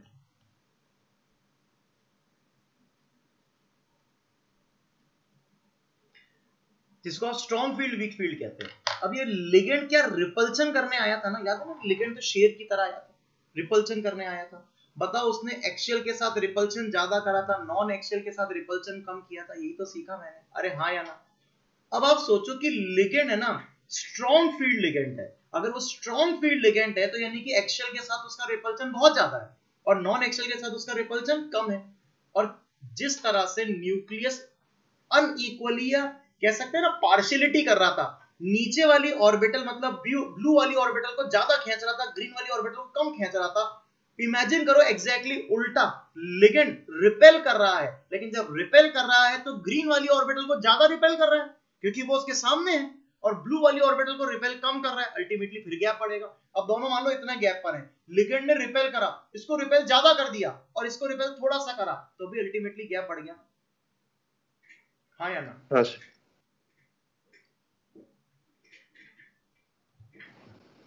हाँ सर अरे हाँ या ना? यस सर हाँ सर क्लियर होगी सभी को बात? तो अब मैं यहाँ पर यही चीज़ को अब पॉइंट वाइज लिखने जा रहा हूँ। आप सभी लोगों से उम्मीद करता हूँ पहला पॉइंट आपको समझ में आ रहा है कि स्ट्रॉन्ग फ़ील्ड लिगेंड में पेयरिंग हो भी सकती है और पेयरिंग नहीं भी हो सकती है। दिस इज़ द केस जो मैंने आपको बोला कि स्ट्रॉन्ग फ़ील्ड लिगेंड के अंदर पेयरिंग हो भी सकती है और पेयरिंग नहीं भी हो सकती है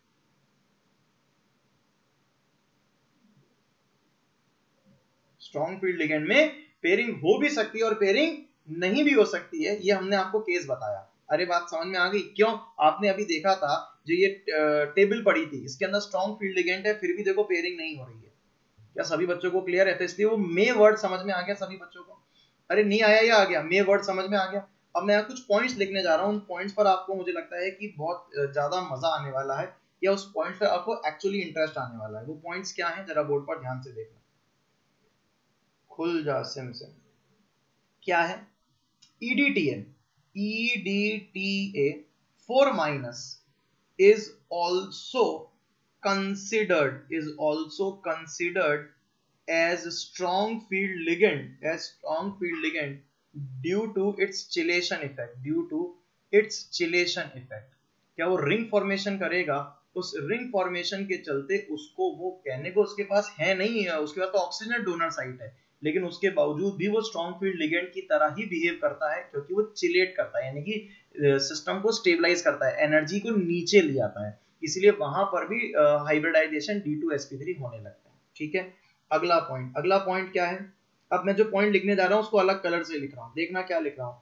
All those complexes all those complexes in which all those complexes in which central metal atom or ion is present is present in plus 4 or plus 4 or higher oxidation state plus 4 or higher oxidation state pairing of electron take place.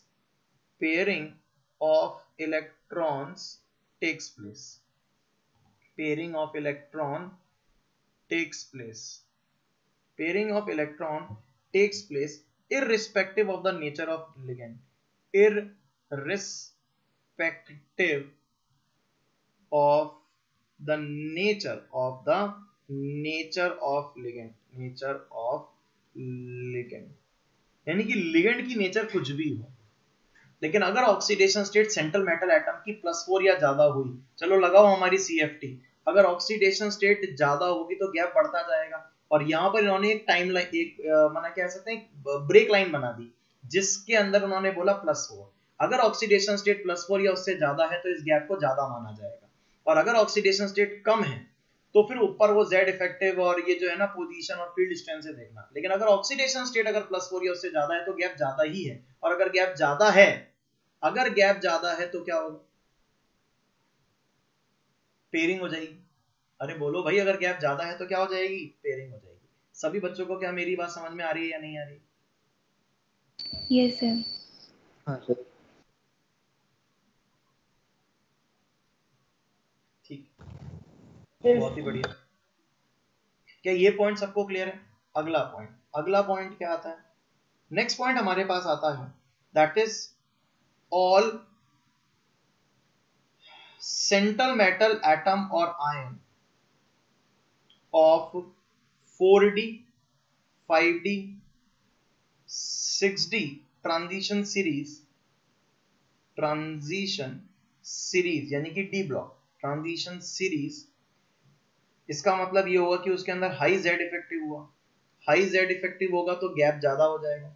High z effective shows pairing of electron pairing of electron during the formation during the formation of complex during the formation of complex irrespective irrespective irrespective of the nature of of the nature of the nature of ligand and oxidation state of metal.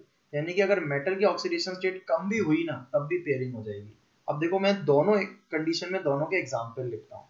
यहाँ पर मैं example लिखने जा रहा हूँ, ऊपर वाले का। एग्ज़ाम्पल कुछ इस तरह का है। कैसा? यहाँ पर पीटी सी एल सिक्स और टू माइनस है। क्या पीटी Cl6 2 माइनस में ऑक्सीडेशन स्टेट कितनी है? ऑक्सीडेशन स्टेट है प्लस फोर अगर ऑक्सीडेशन स्टेट प्लस फोर है तो क्या पेयरिंग होगी या नहीं होगी? आवाज़ ही नहीं आई।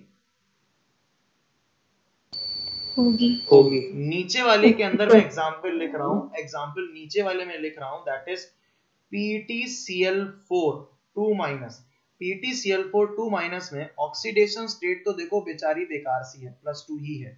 और लिगेंड भी क्लोरीन है। लेकिन अगर मैं देखूँ तो ये जो एलिमेंट है, ये एलिमेंट आप देख सकते हैं नीचे वाली सीरीज़ का। निकिल निकिल के नीचे पैलेडियम के नीचे प्लैटिनम ठीक है? तो ऐसी कंडीशन के अंदर ये जो प्लैटिनम है, ये 5D सीरीज़ का है। तो 5D सीरीज़ का होने का इसको एक बेनिफिट मिल जाएगा कि क्या यहाँ पर भी पेयरिंग होगी या नहीं होगी। पेयरिंग हो जाएगी। क्या कंसेप्ट समझ में आ गया? यहाँ पेयरिंग क्यों हो रही है? ऑक्सीडेशन स्टेट को ज़्यादा थी प्लस फोर या ज़्यादा तो भी पेयरिंग होगी। यहाँ पर लिगेंड बेकार ऑक्सीडेशन स्टेट बेकार फिर भी पेयरिंग हो रही है। यहाँ पर किसको हमने वोट दिया? क्योंकि फाइव डी सीरीज़ का मेंबर है इसलिए पेयरिंग हो रही है। क्या बोलो मेरा बेटू सभी बच्चे? क्या कोई डाउट है कोई प्रॉब्लम है कोई बात पूछनी है मुझसे? सर वो जो आपने स्प्लिटिंग एनर्जी का था ना उसमें पूछनी है। हाँ बेटा बोल। सर, इसमें जैसे ऑक्सीडेशन स्टेट बढ़ेगी जेड इफ़ेक्टिव बढ़ेगा तो जो नीचे वाली है, वो तो ज़्यादा खींचेगी तो ऊपर वाली भी तो ज़्यादा खींचेगी उसके रिस्पेक्ट में, जिसका जेड इफ़ेक्टिव कम है। तो मुझे जेड इफ़ेक्टिव कम है, उसके रिस्पेक्ट से उसको चेक नहीं करना। मैंने तो इन दोनों को आपस में चेक करना है, कि जेड इफ़ेक्टिव जितना बढ़ता जाएगा, उतना इनके बीच में गैप बढ़ता जाएगा। जितना ज़्यादा जेड इफ़ेक्टिव होगा स्प्लिटिंग उतनी ज़्यादा होगी। क्योंकि जेड इफ़ेक्टिव ज़्यादा होने का मतलब खींचना और क्योंकि इनकी पोजीशन नीचे वाले की नीचे ऊपर वाले की ऊपर है तो जो नीचे वाले की पोजीशन होगी वो ऑफकोर्स पुल ज़्यादा होगा तो गैप भी बढ़ता जाएगा ना दोनों के बीच में। सर मतलब इसमें हम किसी दो को कंपेयर नहीं कर सकते एक का अगर मान लो जेड इफ़ेक्टिव कम एक का ज़्यादा है तो उनको आपस में नहीं कंपेयर कर सकते कर सकते? क्यों नहीं कर सकते? करो ना। मतलब तुम जो कह रहे हो तुम क्या कह रहे हो कि सर इसका ऊपर वाला और उसका ऊपर वाला कंपेयर कर रहे हो? यही कहना चाह रहे हो ना? मतलब गैप कह रहा था मैं तो गैप गैप तो बिल्कुल सर्टेन है कि जितना ज़्यादा जेड इफ़ेक्टिव होगा गैप ज़्यादा होगा। ठीक है ना? अब जो तुम कह रहे हो कि एक का जेड इफ़ेक्टिव मान लो मेरा ये वाला जो हैंड है इस वाले हैंड वाले का जेड इफ़ेक्टिव ज़्यादा है। तो मैं कह रहा हूँ ये नीचे ज़्यादा खींचेगा। ये नीचे ज़्यादा खींचेगा और ऊपर वाला भी नीचे आएगा, लेकिन इनके बीच का गैप ज़्यादा होगा। ये दूसरा केस है, इसका जेड इफ़ेक्टिव कम है। तो मैंने ये माना जेड इफ़ेक्टिव कम है तो ये नीचे कम आया। लेकिन ये भी नीचे कम आया और ये भी नीचे कम आया। तो इन दोनों के बीच का गैप भी कम है और ओवरऑल एनर्जी देख जरा। ओवरऑल मेरे हाथों का गैप देख। क्या ये पूरा नीचे आ गया? आगे लेकिन गैप ज़्यादा है। ये पूरा नीचे कम आया, लेकिन गैप कम है। सर अब इसमें ये समझ में आ गया कि जो आपका हैंड है जो नीचे है वो नीचे क्यों होगा? पर उन, उनके बीच का गैप कैसे आपने तो कंपेयर मैंने करा? आपको यही तो समझाने की कोशिश करी कि ये भी खींचेगा और ये भी खींचेगा लेकिन इस पर खींच ज़्यादा लगेगी क्योंकि ये न्यूक्लियस के पास है तो इस पर खींच ज़्यादा लगेगी इस पर खींच कम लगेगी। तो ये इसमें गैप क्रिएट ज़्यादा हो जाएगा हो जाएगा उसके तो, मुकाबले ये तो मैंने कहा कॉमन सेंस है। एक बात बता ना मैं तेरे को जनरल बात कर रहा हूँ फिजिक्स लगा ना मैं तेरे को फिजिक्स ही लगाने को कह रहा हूँ कि एक दो इलेक्ट्रॉन्स है। एक पास में है एक इलेक्ट्रॉन दूर है। मैं न्यूक्लियस हूँ मैं खींच लगा रहा हूँ। तो जो मेरे पास होगा मैं इसको ज़्यादा खींचूँगा। जो दूर होगा ऑटोमेटिक उस पर फोर्स कम लगेगा ना। हाँ सर तो उस पर फोर्स कम लगेगा वो मेरे पास थोड़ा सा आ जाएगा। लेकिन जो मेरे पास वाला है वो मेरे ज़्यादा पास आ जाएगा। हाँ ठीक तो अल्टीमेटली उन दोनों के बीच का गैप तो बढ़ गया ना। हाँ सर मैंने ये थोड़ी बोला उस पर रिपल्शन ज़्यादा है। ठीक है सर। गई बात समझ में और उल्टा लिगेंड का इमेजिनेशन कर। लिगेंड का इमेजिनेशन उल्टा कर कि लिगेंड धक्का मार रहा है एक तरीके से। लिगेंड जो है ना इन ऑर्बिटल को ऊपर भगा रहा है एनर्जी बढ़ा रहा है ऑर्बिटल्स की। अगर ऑर्बिटल्स की एनर्जी बढ़ा रहा है तो ऊपर वालों के साथ रिपल्शन ज़्यादा कर रहा है नीचे वालों के साथ रिपल्शन कम कर रहा है तभी तो स्प्लिट हुआ नहीं तो स्प्लिट ही नहीं होता। पार्शियलिटी तो हाँ। उसने करी आकर। अब ऊपर वालों के साथ रिपल्शन ज़्यादा ज़्यादा कर दिया नीचे वालों के साथ करा थोड़ा ज़्यादा कर दिया मान लिया लेकिन गैप बढ़ गया ना। सर अब इसमें ये डाउट आ रहा है लिगेंड वाले में कि वो बाहर की तरफ़ कैसे रिपेल कर रहा है? ऐसा भी तो हो सकता है वो दोनों को ही अंदर न्यूक्लियस की तरफ़ रिपेल करे। नहीं नहीं नहीं नहीं नहीं नहीं, तुम इसको गलत इंटरप्रेट कर रहे हो। इंटरप्रेट गलत कर रहे हो। पोटेंशियल एनर्जी बढ़ाने से इंटरप्रेट करो एनर्जी बढ़ रही है। बाहर और अंदर मत सोचो। कोई चीज़ का रिपल्शन होने से पोटेंशियल एनर्जी बढ़ती है। और पोटेंशियल एनर्जी बढ़ेगी तो वो कहाँ जाएगा? हायर एनर्जी न्यूक्लियस से दूर होती है कि न्यूक्लियस के पास होती है? दूर। तो फिर वो ऊपर एनर्जी पे जाएगा ना। ये कोई बाकायदा ऐसे कोई धक्का थोड़ी मार रहा है। कहने का मतलब उसको रिपेल करके पोटेंशियल एनर्जी बढ़ा रहा है। ठीक है सर वेरी गुड इस तरह के डिस्कशन में एक्चुअली मज़ा आता है। ये चीज़ को पकड़ता है। इस चीज़ से चीज़ों को ज़्यादा अच्छा समझाने का हमारा भी मोटिव बनता है। क्या अब मैंने आपको यहाँ तीन पॉइंट तीन कलर्स में लिखा है। पहला पॉइंट कहता है लिगेंड को देखो। स्ट्रॉन्ग फ़ील्ड है तो पेयरिंग करा दो. वीक फ़ील्ड है तो पेयरिंग मत कराओ. प्रोवाइडेड की पेयरिंग हो सके. पॉइंट नंबर टू जो ग्रीन कलर से लिखा है, वो कहता है कि ऑक्सीडेशन स्टेट अगर प्लस फोर है तो एस एस करा है लिगेंड स्ट्रॉन्ग फ़ील्ड है या वीक फ़ील्ड है? बल्कि बताऊँ अभी मैं आगे जाके सीएफटी थ्योरी के लाइन में क्या लिखवाने वाला हूँ. ये जो क्लोरीन है ना सेकंड एग्जांपल का क्लोरीन इस सेकंड एग्जांपल का ये जो क्लोरीन है, इस क्लोरीन को स्ट्रॉन्ग फ़ील्ड लिगेंड कह देते हैं. सर कैसी बात कर रहे हो? अभी आपने क्या कहा? कार्बन या नाइट्रोजन डोनर साइट होती है तो उसको स्ट्रॉन्ग फ़ील्ड लिगेंड कहते हैं तो क्लोरीन है। इसको स्ट्रॉन्ग फ़ील्ड लिगेंड कैसे कह दिया? क्योंकि पेयरिंग हो रही है ना। पेयरिंग हो रही है तो एनसीईआरटी के हिसाब से और एनसीईआरटी गई बाहर में। अगर आप अपने थ्योरी को पढ़ो, अपनी कई सारी किताबों को पढ़ो तो वो ये कहता है कि स्ट्रॉन्ग फ़ील्ड और वीक फ़ील्ड की जो डेफिनेशन है, वो ये होती है, जब गैप ज़्यादा है तो स्ट्रॉन्ग फ़ील्ड है। अब गैप किसी भी कारण से ज़्यादा हो सकता है। चाहे वो कैटेगरी वाइज स्ट्रॉन्ग फ़ील्ड है तो गैप ज़्यादा। चाहे ऑक्सीडेशन स्टेट के कारण है तो गैप ज़्यादा, और अगर ये three D four D four D five D six D series का है तो गैप ज़्यादा। ऐसे कंडीशन में जो लिगेंड्स हैं, उनके माथा हम ना उसी के बोल दिया कि यार इसी के कारण हुआ है that they are known as strong field ligand तो सेकंड एग्जांपल में chlorine is considered as strong field ligand in general it is a weak field ligand but क्योंकि ऑक्सीडेशन स्टेट प्लस फोर होगी तो now this chlorine is acting like a strong field ligand बोलो, समझ में आया या नहीं आया? हाँ सर सभी बच्चों को समझ में आ गया? अच्छा ऐसा नहीं है कि मतलब मैंने ये कोई चीज़ अपनी मर्ज़ी से कह डाली है। ये एनसीईआरटी किताबें हैं और एनसीईआरटी किताबें जैसा कहती हैं, अपन उसको डायरेक्टली ब्लाइंडली फॉलो करना पड़ता है। तो एनसीईआरटी किताब के अंदर मुझे इस स्टेटमेंट को आपको दिखाना चाहिए। ये रहा वो statement okay okay okay okay okay okay okay okay इधर आओ इधर आओ। ये देखो।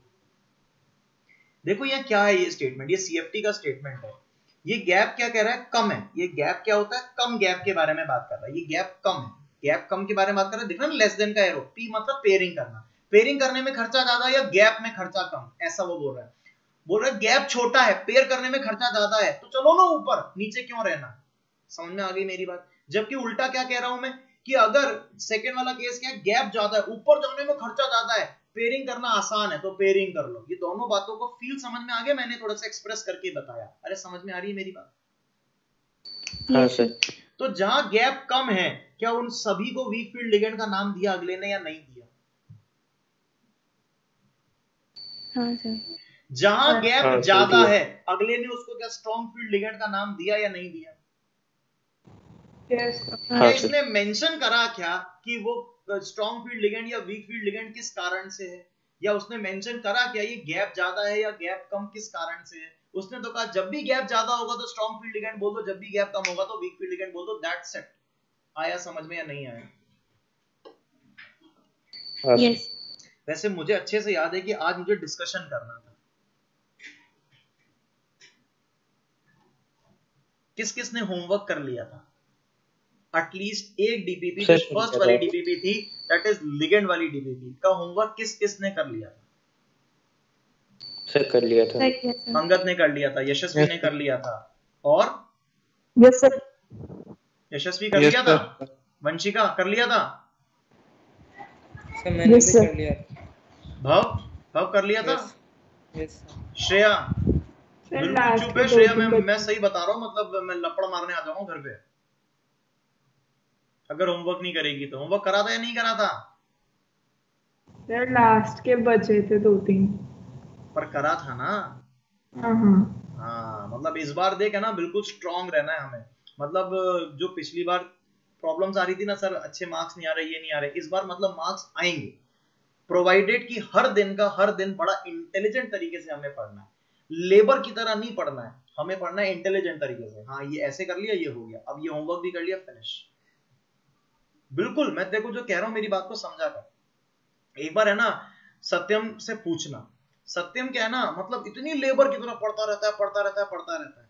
लेकिन क्योंकि वो ज़्यादा पढ़ता है, इसलिए उसको इतना पढ़ना पड़ता है। लेकिन फिर भी मैं तेरे को एक बात कहूँ कि उसको भी मैं समझाता हूँ, थोड़ा इंटेलिजेंट पढ़। कि क्या पढ़ना है, क्या नहीं पढ़ना है, इस बात का सिलेक्शन कर ले। तो शायद जितना वो घंटे पढ़ रहा है, उससे एक घंटा कम ही पढ़ना पड़ेगा। मैं ये कहना चाह रहा हूँ। तुमको भी मैं यही कहना चाह रहा हूँ। सभी बच्चे अच्छे से इंटेलिजेंट है। प्रोवाइडेड मतलब एक बात फिर बताता हूँ। डोंट फील लाइक कि यू आर नॉट इंटेलिजेंट और सत्यम इज़ इंटेलिजेंट ऐसा है ही नहीं। मैं तेरे को बता रहा हूँ मैं तो रोज उससे मिलता हूँ मुझे सब पता है उसके बारे में। है ना? तुम भी फुल इंटेलिजेंट हो प्रोवाइडेड कि तुम अपने आप को मतलब कह सकते हैं ना मैनेज कर अपने आप को थोड़ा सा प्रॉपरली मैनेज करोगे ना तो एवरीबडी इन दिस ग्रुप मतलब जो जो भी हम लोगों से पढ़ रहे हैं they all are very intelligent provided कि वो सच में अपने आप को प्रॉपरली मैनेज कर ले। ठीक है? तो क्या मैंने यहाँ पर आपको स्ट्रॉन्ग फ़ील्ड वीक फ़ील्ड के बारे में समझा दिया? कहाँ पेयरिंग होगी वो बता दिया और मैंने एक एग्ज़ाम्पल ले लिया। That is coordination number six the point is कि हमने ये जो टेबल बनाई है, इस टेबल पर प्लीज़ ध्यान देना, ये टेबल और सिर्फ़ और सिर्फ़ ये स्ट्रॉन्ग फ़ील्ड लिगेंड की टेबल ही है। ये टेबल पर आप प्लीज़ ध्यान देना, ये टेबल सिर्फ़ किसकी है? ये सॉरी ये टेबल सिर्फ़ कोऑर्डिनेशन नंबर सिक्स की टेबल है और ये किसी भी चीज़ की टेबल नहीं है। मतलब आप कोऑर्डिनेशन नंबर फोर पे टेबल को अप्लाई नहीं करना है। समझ में आ गई? ये octahedral complexes coordination number six की टेबल है। क्या सभी बच्चों को ये बात समझ में आ गई या नहीं आ गई? Yes, sir. ये coordination number is equal to six ये कोऑर्डिनेशन नंबर सिक्स की टेबल है। तो क्या यहाँ पर भी मेरे पास दो नोट पॉइंट्स हैं? क्या नोट पॉइंट्स हैं? क्या बताइएगा कि अगर D1, D2, D3 कॉन्फ़िगरेशन है तो क्या irrespective of the nature of the ligand चाहे वो स्ट्रॉन्ग फ़ील्ड लिगेंड कंडीशन हो चाहे वो वीक फ़ील्ड लिगेंड कंडीशन हो क्या ऑलवेज D2 sp3 हाइब्रिडाइजेशन बनेगा? हाँ यस सर सर चलिए नोट पॉइंट लिख देते हैं। आइए नोट पॉइंट मैं और आप लिखते हैं। Note point number one in octahedral complexes in octahedral complexes having central metal having com- complexes of central metal atom और आयन हैविंग डी वन और डी टू और D three electronic configuration configuration always form always form D two S P three that is inner orbital complex ऐसे लिखना चाहिए। Always form inner orbital complex always form inner orbital complex with D2sp3 hybridization and uh, D2 uh, always form uh, D2 irrespective of irrespective irrespective of nature of ligand irrespective of nature of ligand चाहे ligand कोई भी आ जाए pairing हो ही नहीं सकती irrespective of the nature of ligand and the magnetic moment is equals to, and the magnetic moment is equals to root 3 root 8 and root 15 Bohr's magneton respectively ये क्या बोला मैंने? बताऊँ पीछे देखो जरा। अनपेड इलेक्ट्रॉन गिनो। एक एक, दो दो, तीन तीन। अनपेड इलेक्ट्रॉन एक है तो रूट थ्री कौन वो होगा? मैग्नेटिक मोमेंट अगर अनपेड इलेक्ट्रॉन दो है तो रूट एट होगा और अगर अनपेयर्ड इलेक्ट्रॉन एक है अगर अनपेयर्ड इलेक्ट्रॉन एक है तो कितना हो जाएगा बोलो? अगर तीन है तो रूट फिफ्टीन हो जाएगा। क्या root eight root three root eight और root fifteen Bohr magneton respectively अरे सभी बच्चों को समझ में आ गया या नहीं आ गया? हाँ अब हाँ, मैं। हूँ आलसी। हम्म। तो आलसी क्या करेगा? कॉपी करेगा और यहाँ पेस्ट कर देगा। सर ये आलस होने की निशानी नहीं है। ये इंटेलिजेंट होने की निशानी है ये समझाने के लिए कि ये नोट वन ये नोट टू सेम है। अब हमने क्या कहा? कि octahedral complexes of central metal atom और आयन हैविंग काले रंग से लिख लेता हूँ D8, D9 and D10 electronic configuration D8, D9 and D10 electronic configuration always form what क्या बताओ? क्या बनाएँगे वो? Always form outer orbital complex always form outer orbital complex having कौन सा हाइब्रिडाइजेशन बोलो ऊपर ही ऊपर लिखा है इसमें तो। क्या sp3d2 hybridization? अरे हाँ या ना? Sir irrespective of the nature of ligand and the magnetic moment is equals ये आप बताओगे अब मैग्नेटिक मोमेंट कितना आ रहा है? जल्दी बताओ। ऊपर देखो ना यहाँ दिख तो रहा है दो अनपेड इलेक्ट्रॉन कितना होगा magnetic moment root eight root eight root three and zero magneton respectively zero Bohr's magneton respectively क्या सच बताओ ये बात समझ में नहीं आ रही है ना आप लोगों को? आ रही है आ रही है तो फिर बोलते ही नहीं हो तुम लोग यार। क्या ये ये पॉइंट समझ में आ गया? टेबल समझ में आ गई? ये तीन पॉइंट्स स्पेसिफिकली समझ में आ गए? या ये दो नोट पॉइंट समझ में आ गए? और क्या ये सीएफटी समझ में आ गई? हाँ या ना? हाँ सर यस जहाँ आपको ऐसा लगता है कि सर आपकी हेल्प कर सकते हैं वहाँ आपको सबसे पहले सर से बात कर लेनी चाहिए। ये सर एक बार हमें और बता दो। बिल्कुल मतलब बेशर्म हो जाना चाहिए सवाल पूछते वक्त। बिकॉज़ ये आपका हक बनता है सवाल पूछने का।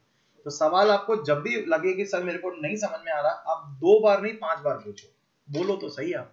आप बोलोगे तो पता है मुझे ज़्यादा खुशी होगी बजाय उसके कि आप बोलोगे नहीं।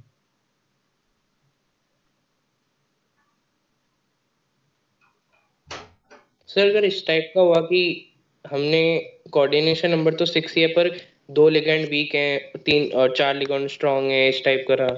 हम्म, तो इस वाले केस के अंदर बिल्कुल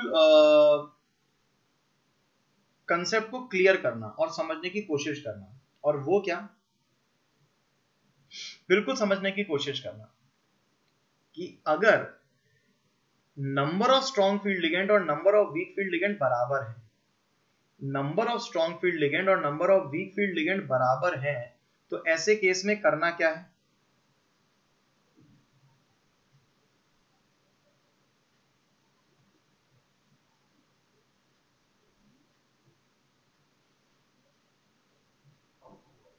ऐसे केस में चलेगी किसकी? ऐसे केस में किसकी चलेगी? Strong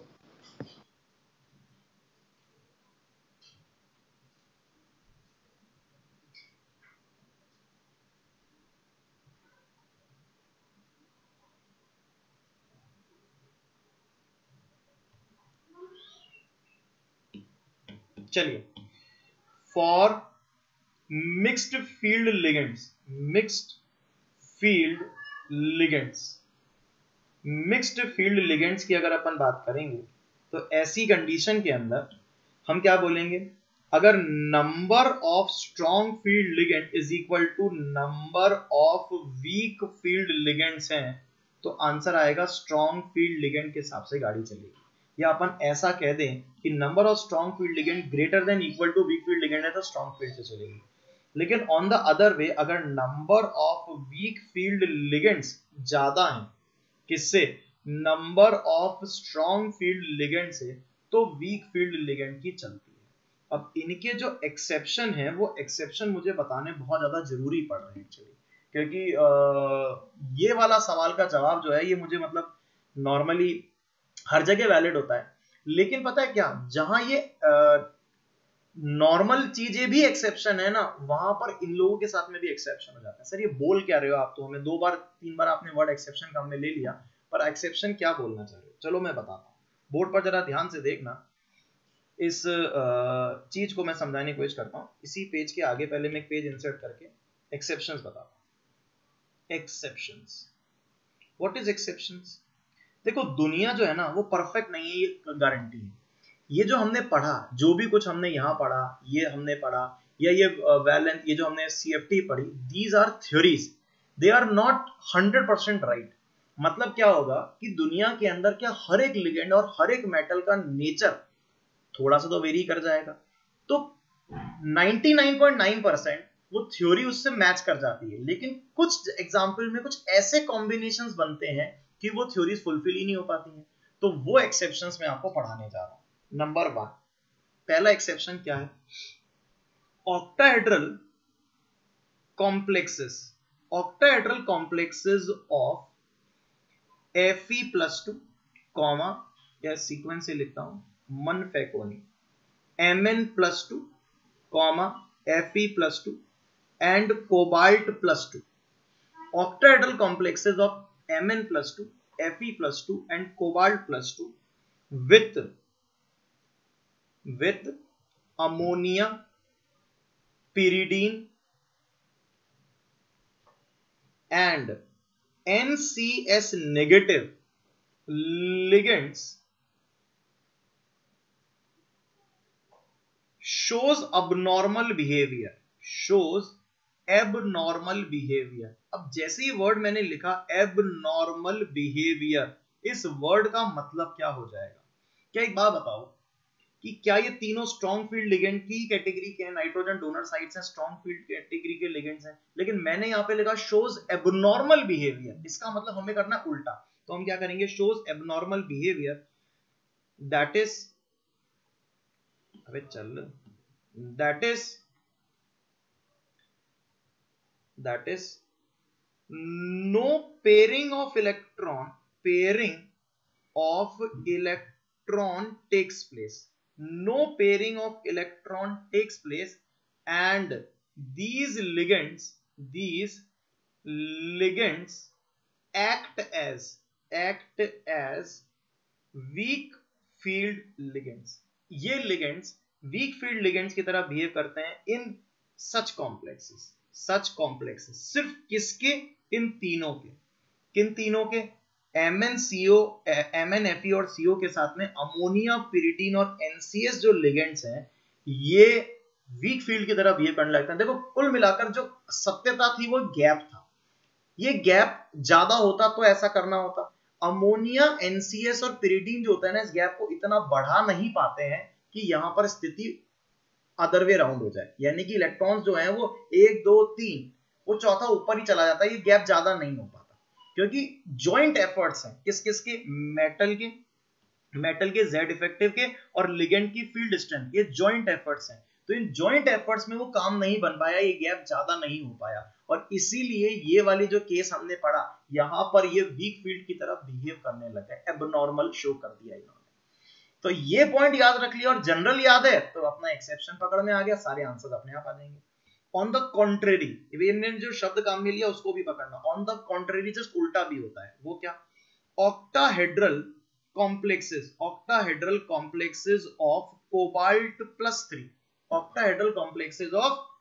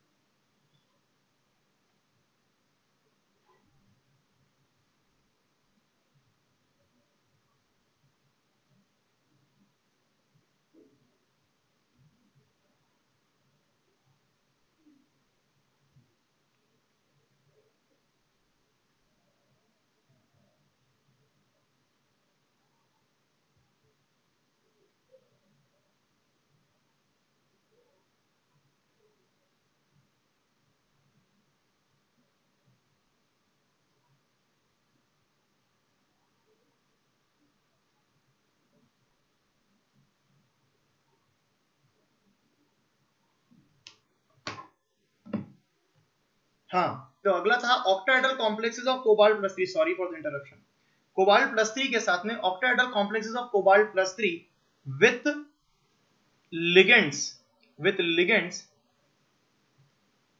having oxygen donor site oxygen donor site also shows also shows abnormal behaviour abnormal behaviour abnormal behaviour वो भी एबनॉर्मल बिहेवियर शो करता है। यहाँ पर पूरा ही दे दिया oxygen donor side oxygen donor side का जैसे एग्ज़ाम्पल हो गया वॉटर हो गया ये मैं नीचे लिख दूँगा अभी।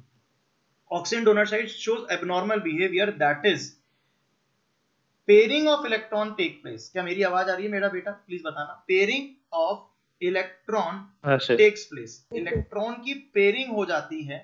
That is these ligands these ligands act as, these ligand act as what strong field ligand in such complexes, in such complexes इन तरह के कॉम्प्लेक्सेस के अंदर ये स्ट्रॉन्ग फ़ील्ड की तरह बिहेव करने लग जाते हैं। एग्ज़ाम्पल मैं देता हूँ इसका नीचे अलग से। एग्ज़ाम्पल देखना। एग्ज़ाम्पल कुछ ऐसा है। Cobalt C2O4 whole thrice octahedral बनाना है ना बेटा। C2O4 होल थ्राइस और यहाँ आएगा थ्री माइनस या फिर हमारे पास आ गया कुछ इस तरह का एग्ज़ाम्पल जैसे कि C O H two O whole six और थ्री प्लस यहाँ पर आप देखो ऑक्सीजन डोनर साइड क्या मेरी बात समझ में आ रही है या नहीं आ रही है? इस तरह के कॉम्प्लेक्सेस में ये स्ट्रॉन्ग फ़ील्ड की तरह बिहेव करता है। अब ये बात समझ में आ गई ना तुम्हें? पक्के से आ गई ना? अब मैं ये जो चीज़ है, इस चीज़ों के बारे में बता दूँ कि follow this in general follow this in general कि हमें ये जनरल इसी को फॉलो करना है। बट यहाँ पर भी उल्टा केस हो जाता है इन इन लगू इन लंगूरों के कारण। ये जो एक्सेप्शन आया ना, ये एक्सेप्शन इस जगह पर पुट हो जाता है। कैसे? जैसे कि CO H2O होल थ्राइस और F3 इस तरह के मॉलिक्यूल में फंस गए ना। देखो एक बात बताओ इन जनरल ये कोबाल्ट प्लस थ्री है। कोई बहुत बड़ी बात नहीं करी इसने प्लस फोर से ऊपर तो गया नहीं प्लस फोर या प्लस फोर से ऊपर गया नहीं। ये वीक फ़ील्ड ही है। अरे हाँ या ना, क्या ये वीक फ़ील्ड ही है? क्या ये अभी जस्ट स्ट्रॉन्ग फ़ील्ड बना था इस एक्सेप्शन के कारण? अदरवाइज़ ये भी वीक फ़ील्ड ही होगा ना। तो हम यहाँ पर कंफ्यूज हैं कि ये वीक फ़ील्ड लिगेंट है या ये स्ट्रॉन्ग फ़ील्ड लिगेंट है, ये कंफ्यूजन क्योंकि ये तो ऑलरेडी वीक फ़ील्ड ही था। ये तो बाय चांस इस एग्ज़ाम्पल के अंदर जो हमने अभी पीछे एक्सेप्शन पढ़ा था तो अभी अभी इसको सर्टिफिकेट मिला था स्ट्रॉन्ग फ़ील्ड होने का। लेकिन है तो ये वीक फ़ील्ड गई ना। तो इसीलिए अब देखो यहाँ पर आप बोलोगे, सर, देखो स्ट्रॉन्ग फ़ील्ड और वीक फ़ील्ड की क्वांटिटी बराबर है। हाँ सर। तो फिर, सर, इसका आंसर क्या होगा, सर? अब आपने तो कहा था कि जब दोनों की क्वांटिटी बराबर हो तो स्ट्रॉन्ग फ़ील्ड ले लेना। तो यहाँ पर हम कह रहे हैं कि please take weak field ligand इसको वीक फ़ील्ड ले लेना। क्यों? ये दिख रहा है ना, यार, वो वीक फ़ील्ड की तरह ही हो जाएगा ना ओवरऑल क्योंकि मैंने कहा था कि सब कुछ ये गैप पर है। इस गैप को जरा सा बढ़ा दिया था कोबाल्ट प्लस थ्री के एफर्ट ने। और इसीलिए ये वाटर या ऑक्सिलेट जैसे लोग थे ना ये भी स्ट्रॉन्ग फ़ील्ड की तरह बिहेव करने लग गए थे। लेकिन कर दी इन्होंने नालायकी ये तीन आ गए और तीन फ्लोरीन कुल मिलाकर इतना काम नहीं कर पाएँगे भाई। ये तो गारंटी है इससे बेचारे वीक फ़ील्ड की तरह ही बिहेव कर रहे हैं। क्या मेरी बात समझ में आ रही है या नहीं आ रही? हाँ सर हाँ sir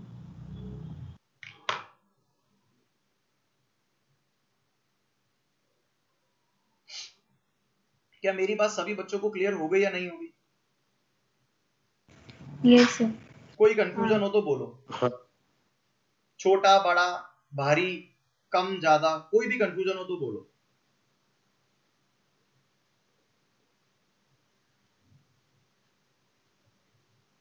Done hundred percent done guarantee अब अपन यहाँ पर देखो थोड़ा सा है ना एकदम स्मार्ट बिहेव करते हैं। हम ये जो क्रिस्टल फ़ील्ड थ्योरी है ना इस क्रिस्टल फ़ील्ड थ्योरी की जो एक्चुअली थ्योरी जो कि मैं मुँह से बोल रहा था उसका रिटर्न वर्क उठा के लाते हैं। कहाँ से उठा के लाते हैं? जो कि मैं ऑलरेडी लिखवा चुका हूँ। देखो जरा ध्यान से, मैं ये पिक करके लाता हूँ। जो कि मैंने आपके ट्यूलर में ऑलरेडी लिखवाया था, वहीं से मैं इसको पिक करता हूँ। सो so दैट कि हमारे मेटलर्जी क्यों खोल लिया okay okay okay okay okay okay strong field, weak field, strong field, weak field, effective nuclear charge application of CFT तीन अप्रैल अप्रैल के पहले आता है।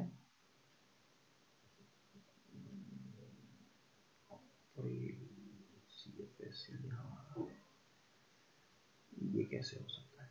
तीन अप्रैल तो दो अप्रैल को होगा तो अच्छा नहीं लिखा था यार अच्छा सा नहीं लिखा हम यहाँ चलते हैं रिपीटर में। यहाँ पर भी लिखा है ये बड़ा सुंदर सा होगा। कोऑर्डिनेशन ये अच्छा है ना? यहाँ देखते हैं, ये रहा। सात अक्टूबर छः अक्टूबर, सात अक्टूबर। ये देखो।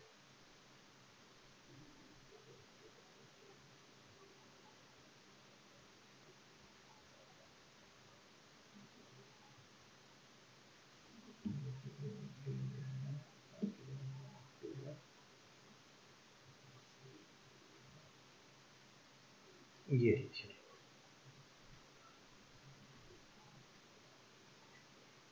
देखो बेटा select copy copy copy copy copy copy copy copy ये मैं यहाँ पे गया कॉपी किया और हम अपनी वाली थ्योरी पर, आज की थ्योरी पर आ गए।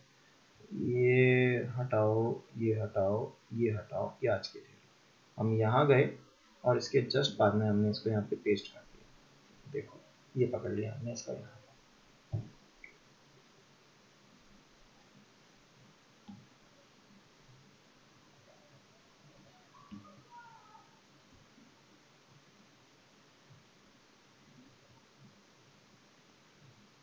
देखना मेरा बेटू, सभी बच्चों को ध्यान से देखना बोर्ड पे, हर चीज़ दिखेगी। हेडिंग है क्रिस्टल फ़ील्ड थ्योरी क्या कहता है? This theory explains the bonding in coordination compound considering considering electrostatic interaction considering electrostatic interaction between surrounding ligand and central metal atom or ion and for that ligands are taken as point charges क्या मैंने आपको बोली थी ये वाली बात done दूसरा हाँ sir according to this theory when ligands approaches the central metal atom or ion through a definite direction Then the inner degenerate d orbital of central metal atom or ion splits into different energy level. This is probably due to different orientation of d orbital for approaching ligands. अब आप देख सकते हैं कि ये हमारे पास से d orbital है मान लेते हैं ये d orbital है जो लिगेंड्स आ रहे हैं अभी हमने ऑक्टाहेड्रल कॉम्प्लेक्स में कहाँ से लाए थे plus X minus X plus Y minus Y plus Z minus Z से लाए थे लेकिन अगर मैं आपको बोलूँ कि मेरे पास ऑक्टाहेड्रल कॉम्प्लेक्स की जगह टेट्राहेड्रल कॉम्प्लेक्स है तो लिगेंड कहीं और से आ रहे हैं। लिगेंड्स आ रहे हैं, पता है यहाँ कहीं बीच में से आ रहे हैं। जब लिगेंड्स कहीं बीच में से आते हैं ना तो वो बल्कि एक्शल के साथ रिपल्शन कम करते हैं और नॉन एक्शल के साथ रिपल्शन ज़्यादा करते हैं। इसका मतलब कॉम्प्लेक्स अलग तो रिपल्शन अलग तो स्प्लिटिंग अलग। ऑक्टाहेड्रल कॉम्प्लेक्स के अंदर स्प्लिटिंग कैसी हुई? जो एक्शल ऑर्बिटल है, वो ऊपर एनर्जी पे गए और नॉन एक्शल ऊपर एनर्जी पे नहीं गए, कम ऊपर गए। क्या ये हुआ? जबकि टेट्राइडल कॉम्प्लेक्सेस में नॉन एक्सल ऊपर जाएँगे ज़्यादा और एक्सल थोड़े उतने ऊपर नहीं जाएँगे। तो ये सब डिपेंड करता है different orientation of approaching ligand. ये बहुत बड़ा की पॉइंट है। Different orientation of d orbital for approaching ligands. ये बहुत बड़ा की पॉइंट है। क्या मेरी बात समझ में आ रही है या नहीं आ रही है?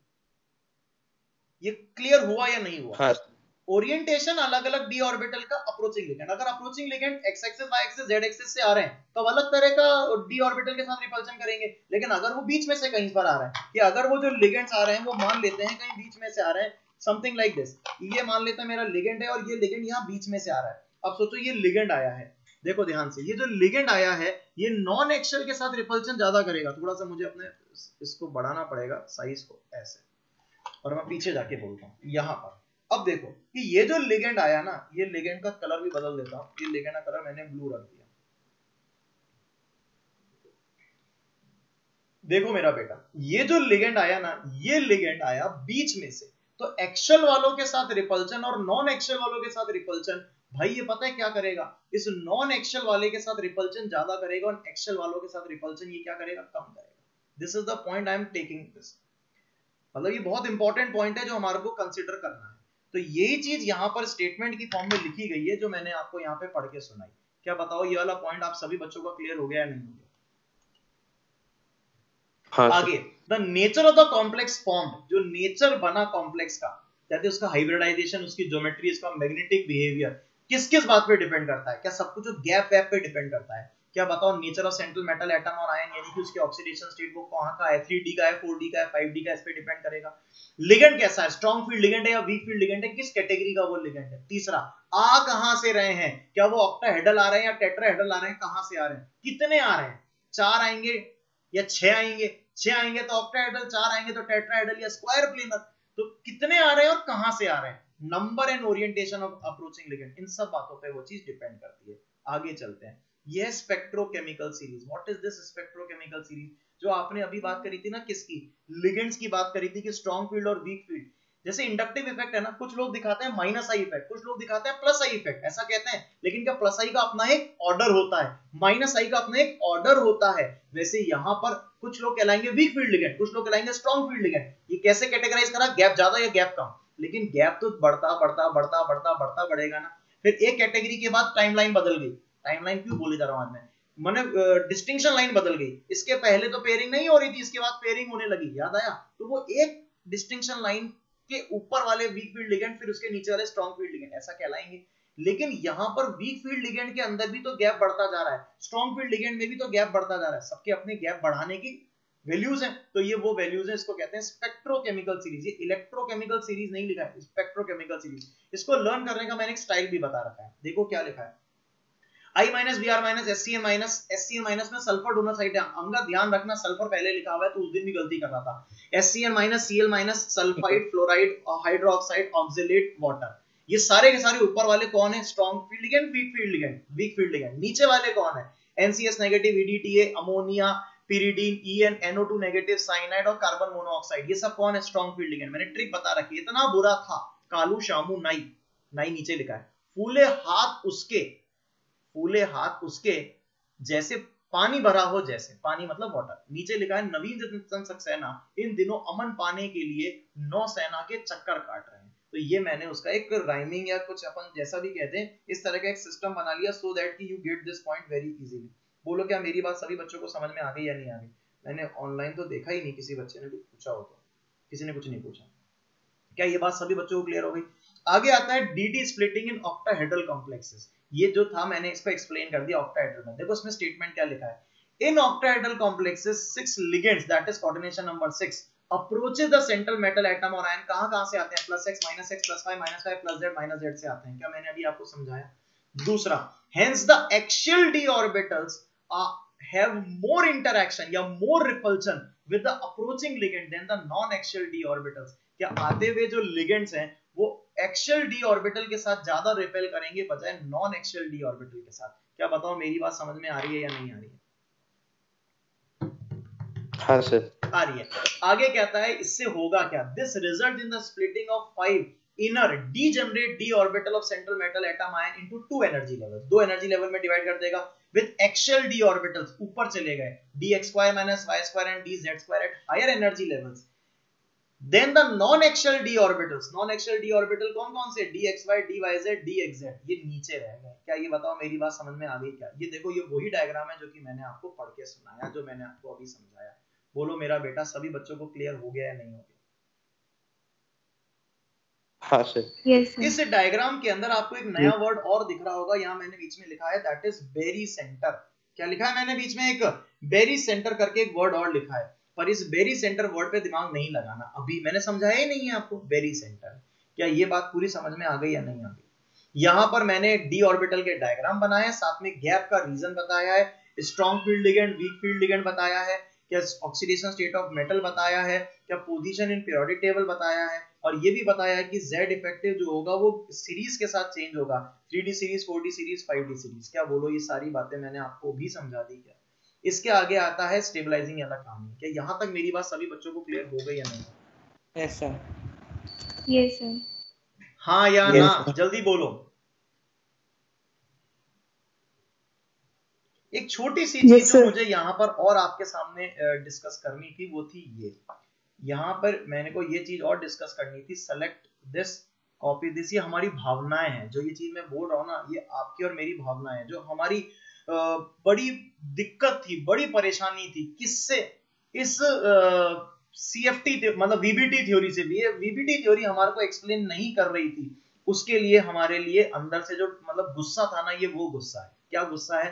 आइए, हम और आप उस गुस्से को देखते हैं। बोर्ड पर देखना। हेडिंग है डी मेरिट्स ऑफ़ वीबीटी इस वीबीटी ने क्या गलती करी? देखो ऐसे, देखो यहाँ पर।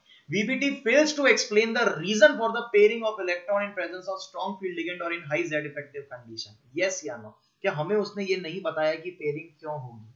उसने बताया पेयरिंग कर दो। क्यों कर दो? उसने कोई रीजन हमें नहीं दिया। ये रीजन हमें किसने दिया? स्प्लिटिंग ने मतलब सीएफटी थ्योरी ने दिया। नाम है क्रिस्टल फ़ील्ड थ्योरी क्या सबको क्लियर है? दूसरा।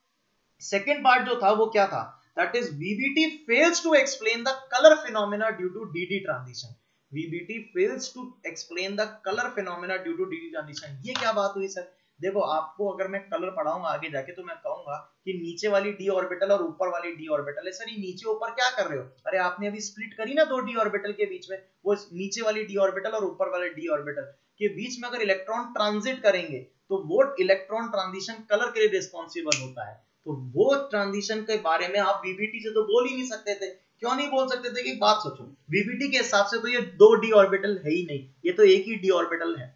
तो यहाँ पर डीडी ट्रांजिशन जैसी सिचुएशन कैसे आएगी? दो डी ऑर्बिटल होती तो एनर्जी अलग अलग होती तो इलेक्ट्रॉन ट्रांजिट करते। तो डीडी ट्रांजिशन जैसा कारण के कारण कलर दिखाने वीबीटी बोल ही नहीं सकती। ये वाला काम तो बोला ही किसने था? सीएफटी ने बोला था। क्या मेरी बात सभी बच्चों को क्लियर हो गई? तीसरा VBT fails to explain the stability of the complexes एक बात बताओ इनर ऑर्बिटल कॉम्प्लेक्स और आउटर ऑर्बिटल कॉम्प्लेक्स स्टेबल कौन? जल्दी से बता दो। हर एक बच्चा बोल देगा इनर ऑर्बिटल कॉम्प्लेक्स। यस या नो ये हर एक बच्चा बोल देगा। क्या बोल देगा? Inner orbital complex. बोलेगा कि नहीं बोलेगा? बोलेगा।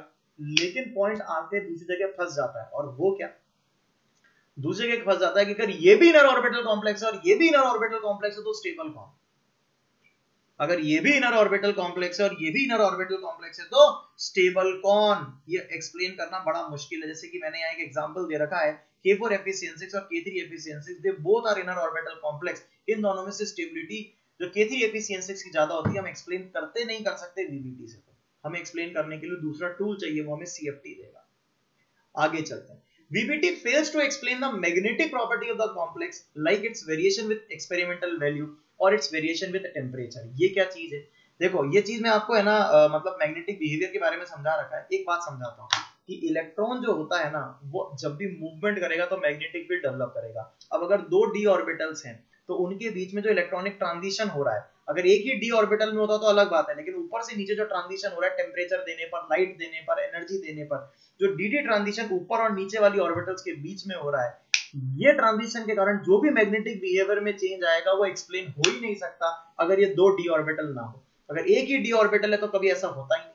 लेकिन मैग्नेटिक बिहेवियर यहाँ हमें एक्सप्लेन करना है तो these are the basic demerits of VBT which can be explained using CFT theory. Yes या no? The CFT theory is goes like this. ये मैंने आपको CFT theory बता दी. CFT theory में कुछ पेजेस और भी हैं आगे. That is uh, CFSE करके एक टॉपिक होता है जिसको अपन uh, समझेंगे पर मैंने आज नहीं समझा ना उसको मैंने आज आपको CFT थ्योरी समझा दी क्या बताओ CFT थ्योरी आप सभी बच्चों को प्रॉपर्ली समझ में आ गई कोई डाउट है या नहीं है बोलो आप तो मुझे नहीं सर पक्के समझ में आ गई। ठीक है तो अपन मिलेंगे अगले टर्न के ऊपर सीएफटी थ्योरी पढ़ेंगे। और मैं आज आपको इस क्लास के बाद में वो जो लिगेंड्स वाली डीपीपी थी, उसके सोल्यूशन भेज रहा हूँ। तो उसके जो सोल्यूशन है, जो उसके आंसर्स है, उसको चेक कर लेना। अगली क्लास के अंदर पूछ लूँगा, कोई डाउट है क्या? क्योंकि ऐसा मैं एक एक के आंसर नहीं बता पाऊँगा। तो उसके सोल्यूशन को आप अपने चेक करते जाना आपने उसको सॉल्व कहाँ किया है डीपीपी को? उसी डीपीपी में ब्लाइंड जो जगह आएँगे वहाँ पे सॉल्व कर लिया तो प्रिंट निकाला क्या आपने? नहीं सर मैंने वहीं पे कर लिया सर तो प्रिंट निकाला क्या तुमने? नहीं सर वो माइक्रोसॉफ्ट पे आता है लिखने का पूरा। तो उसके अंदर आप लिख सकते हो पूरा। अच्छा तुमने मतलब टैब और के ऊपर लैपटॉप के अंदर लिख लिया। हाँ वहाँ सेव्ड हो जाता है सर अच्छा अच्छा अच्छा चलो बढ़िया।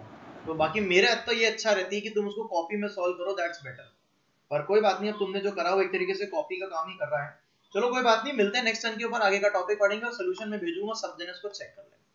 ठीक है? चलिए बाय बेटा गुड नाइट सी यू